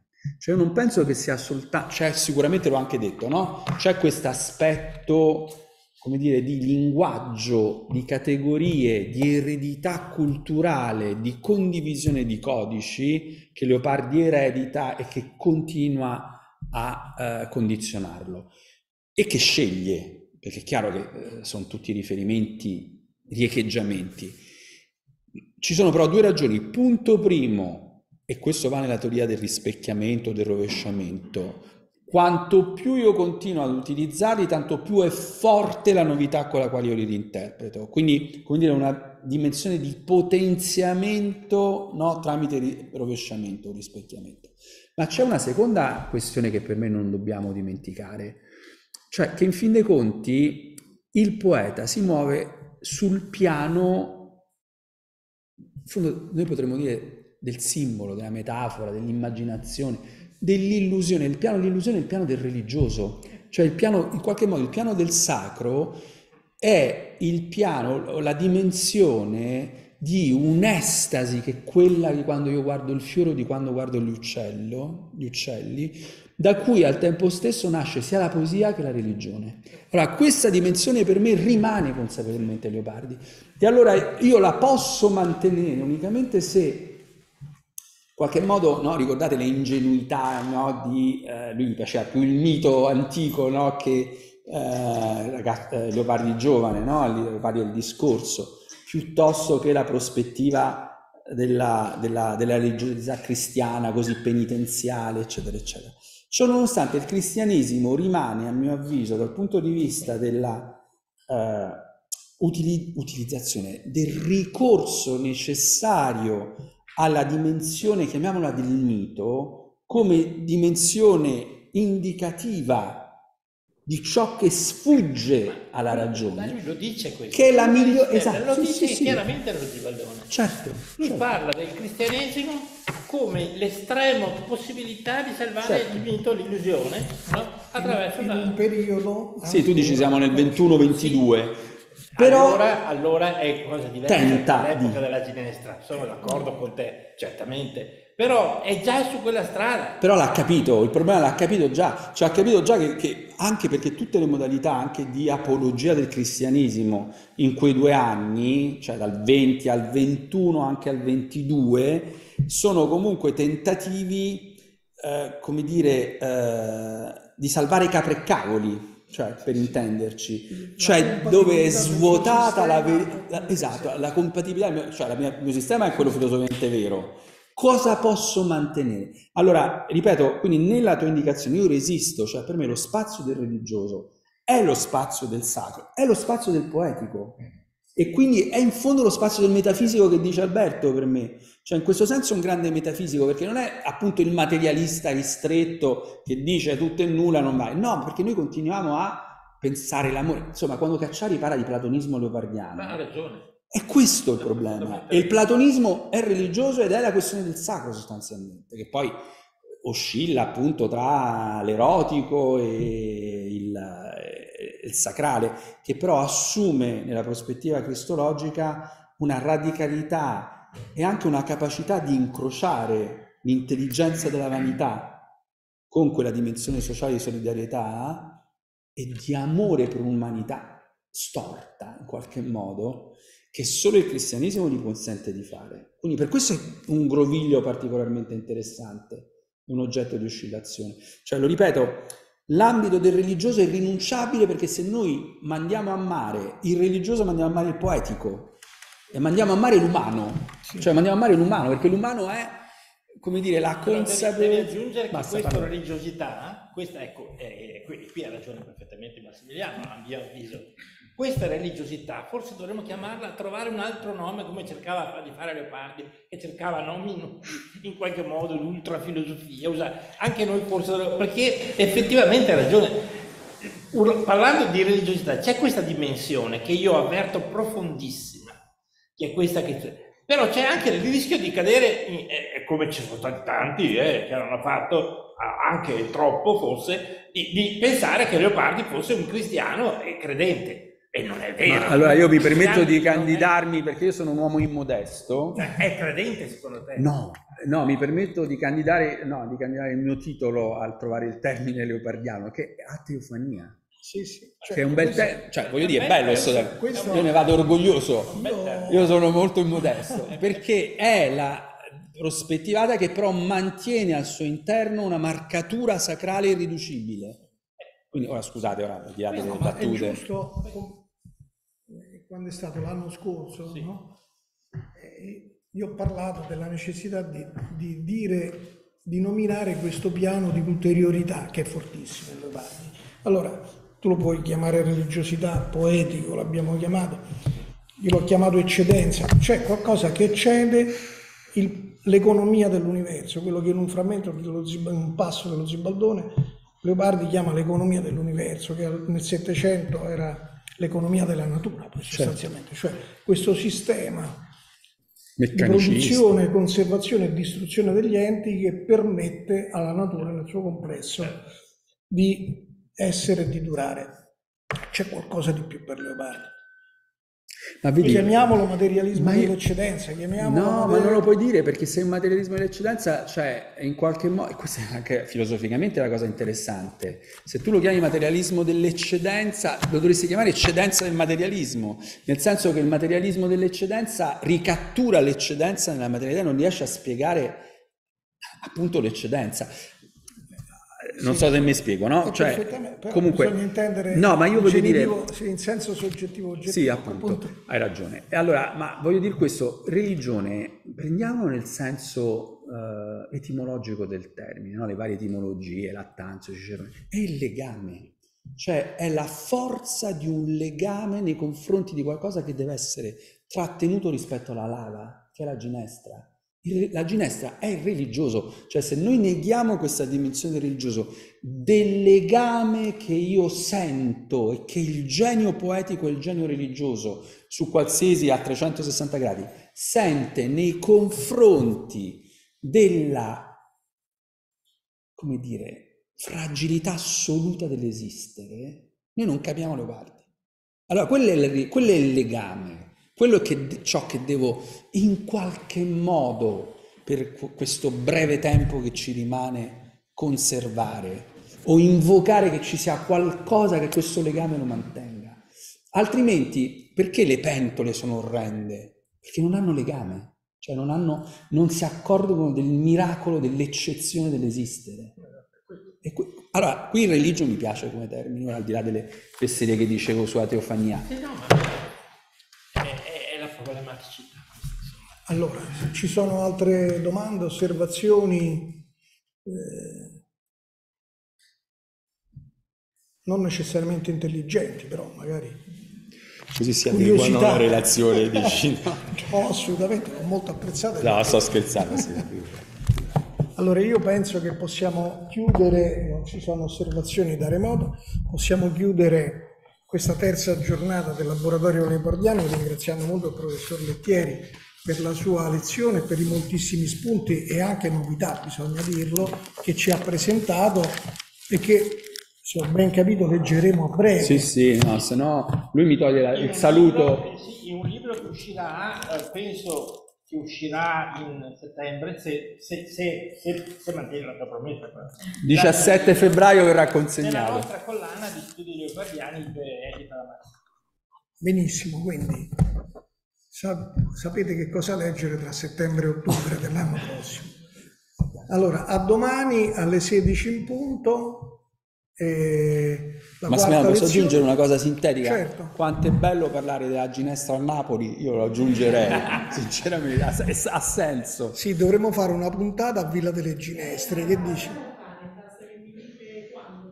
E però dobbiamo organizzare un pulmino o qualche cosa per andare là. Io ci vado a piedi il giorno capito, prima. Abbiamo fatto, abbiamo fatto Mai stato. alcune, alcune eh, così, conferenze tenute a Villa delle Ginestre su Leopardi che sono state incantevoli. Ricordo quella per esempio di Massimo Cacciari mm. che ha fatto una lezione strepitosa come al solito suo e di fronte a questo, dietro c'era questo vulcano, questa, questa, questi colori, era una cosa, eh, oppure Gilberto Ronaldi, ti lo ricordi quello di Gilberto? Una bellissima cosa, ma poetica, c'era un silenzio tra il pubblico, quasi eh, che avvertivano qualcosa di impalpabile, qualcosa di, di, di, un posto sacro, ecco. Quindi fare una cosa a Villa Genestra sarebbe male, assolutamente. Vabbè, ci penseremo. Prego. Certo. Però vieni qui così non dobbiamo spostare telecamere dietro. No, grazie, stavo ripetendo veramente profondissima la sua lezione, mi ha anche sconvolto perché cioè, ho studiato poco Leopardi, ma non avevo mai trovato il nome di, di Bartoli e stavo anche sfogliando adesso l'edizione di Gavazzeni e non compare nel suo commento alla ginestra. Solo una cosa dico proprio a livello così puramente dialettico, non, non mi persuade tanto il fatto di identificare Ginestra Cristo, Ginestra poeta. Mi sembra che ogni tanto la voce del poeta nella Ginestra sia quasi più da distacco, cioè non so se il riso la pietà prevale, no? È come se forse il regalo più grande che ci abbia fatto Leopardi è quello di dire che la Ginestra, quindi Cristo, deve essere la social catena contro la guerra comune. Quindi un, un'estensione di questo ruolo sacro cristologico che va proprio, che Leopardi riesce a indirizzare a tutti, mentre lui sento come se se ne volesse distaccare, quindi No, non senso... ti ho capito, mi devi scusare. Allora, meglio perché mi sembra interessante. Mi sembra che la voce Scusa il tu. No, mi sembra che la voce del poeta nella Ginestra sia una voce sì di compassione, ma al contempo di distacco. Ok, chiarissimo. E in questo senso potrebbe andare contro una visione cristologica, cioè Cristo è quello che ha sempre il pathos, non, non potrebbe mai distaccarsi, guardare dall'alto, ridere o piangere de, delle questioni umane, eh, mentre il poeta può farlo. Quindi mi stavo chiedendo se semplicemente questa lettura Cristo Ginestra, più che essere la Ginestra il poeta, sia estensibile poi proprio alla social catena. Ecco. Allora, eh, dunque, no, la domanda è interessante e opportuna. Ovviamente ci si deve lavorare, qui sai, siamo in uno stato di proposta, però ritorno al pensiero che ho citato, cioè esiste una dimensione apocalittica violentissima di denuncia in Cristo, no? cioè di condanna del mondo falso, di dimensione, è stato spesso pro, eh, proposto da alcuni saggi, appunto la dimensione protestataria della Ginestra, di protesta assoluta. Io pubblicherò un volume, dopo quello di Leopardiano, che è eh, intitolato Gesù eretico, cioè L'origine del cristianesimo storico è in un atto di eresia radicale, di contestazione radicale, di denuncia radicale dell'inautenticità, non della vita, del religioso, tra l'altro. Quindi esiste nel modello, cioè in fin dei conti, se tu prendi l'epigrafe, cioè l'opposizione tra luce e tenebra, è un, una chiarissima categoria di, di origine apocalittica, violentissima, che il Vangelo di Giovanni ovviamente riprende in profondità che viene lanciata contro il mondo. Quindi esiste anche, in questo senso tu puoi dirmi che il poeta è più grande della Ginestra, in quanto all'interno del poeta esiste sia la Ginestra sia il Vesuvio. Sì, il poeta è anche Vesuvio. Perché anche Vesuvio, sia colui che condanna, d'accordo? E ciò nonostante la Ginestra è il fiore del deserto, è il fiore che ama i luoghi desertificati, è in rapporto dialettico con il deserto e benedice in qualche modo con il suo odore e con il suo profumo quel mondo che condanna e che ha desertificato. Quindi tutto sommato non la vedo come una forzatura. D'accordo? Se ragioniamo su questa dimensione della ginestra, però non dimenticando che Cristo ha una dimensione vulcanica, per intenderci, che spiega perché per Leopardi il cristianesimo sia il grande, vero responsabile del nichilismo della, della cultura occidentale, no? E del, come dire, del rifiuto di una religiosità ingenua. Per questo diventa ancora più miracolosa quel sacro, quel legame religioso di cui, di cui parlavamo, che non c'è più l'ingenuità, no? E quindi per questo è post-cristiano, siamo d'accordo su quello che dicevi. Non so se ti ho risposto sì, con troppe parole. Bene, dopo questo bis che possiamo interpretare come tale, ci salutiamo domani alle 16 per l'ultima lezione della prima parte del laboratorio leopardiano del 2023. Grazie di nuovo, grazie. a domani. Grazie a tutti, grazie. Grazie Gaetano. Grazie.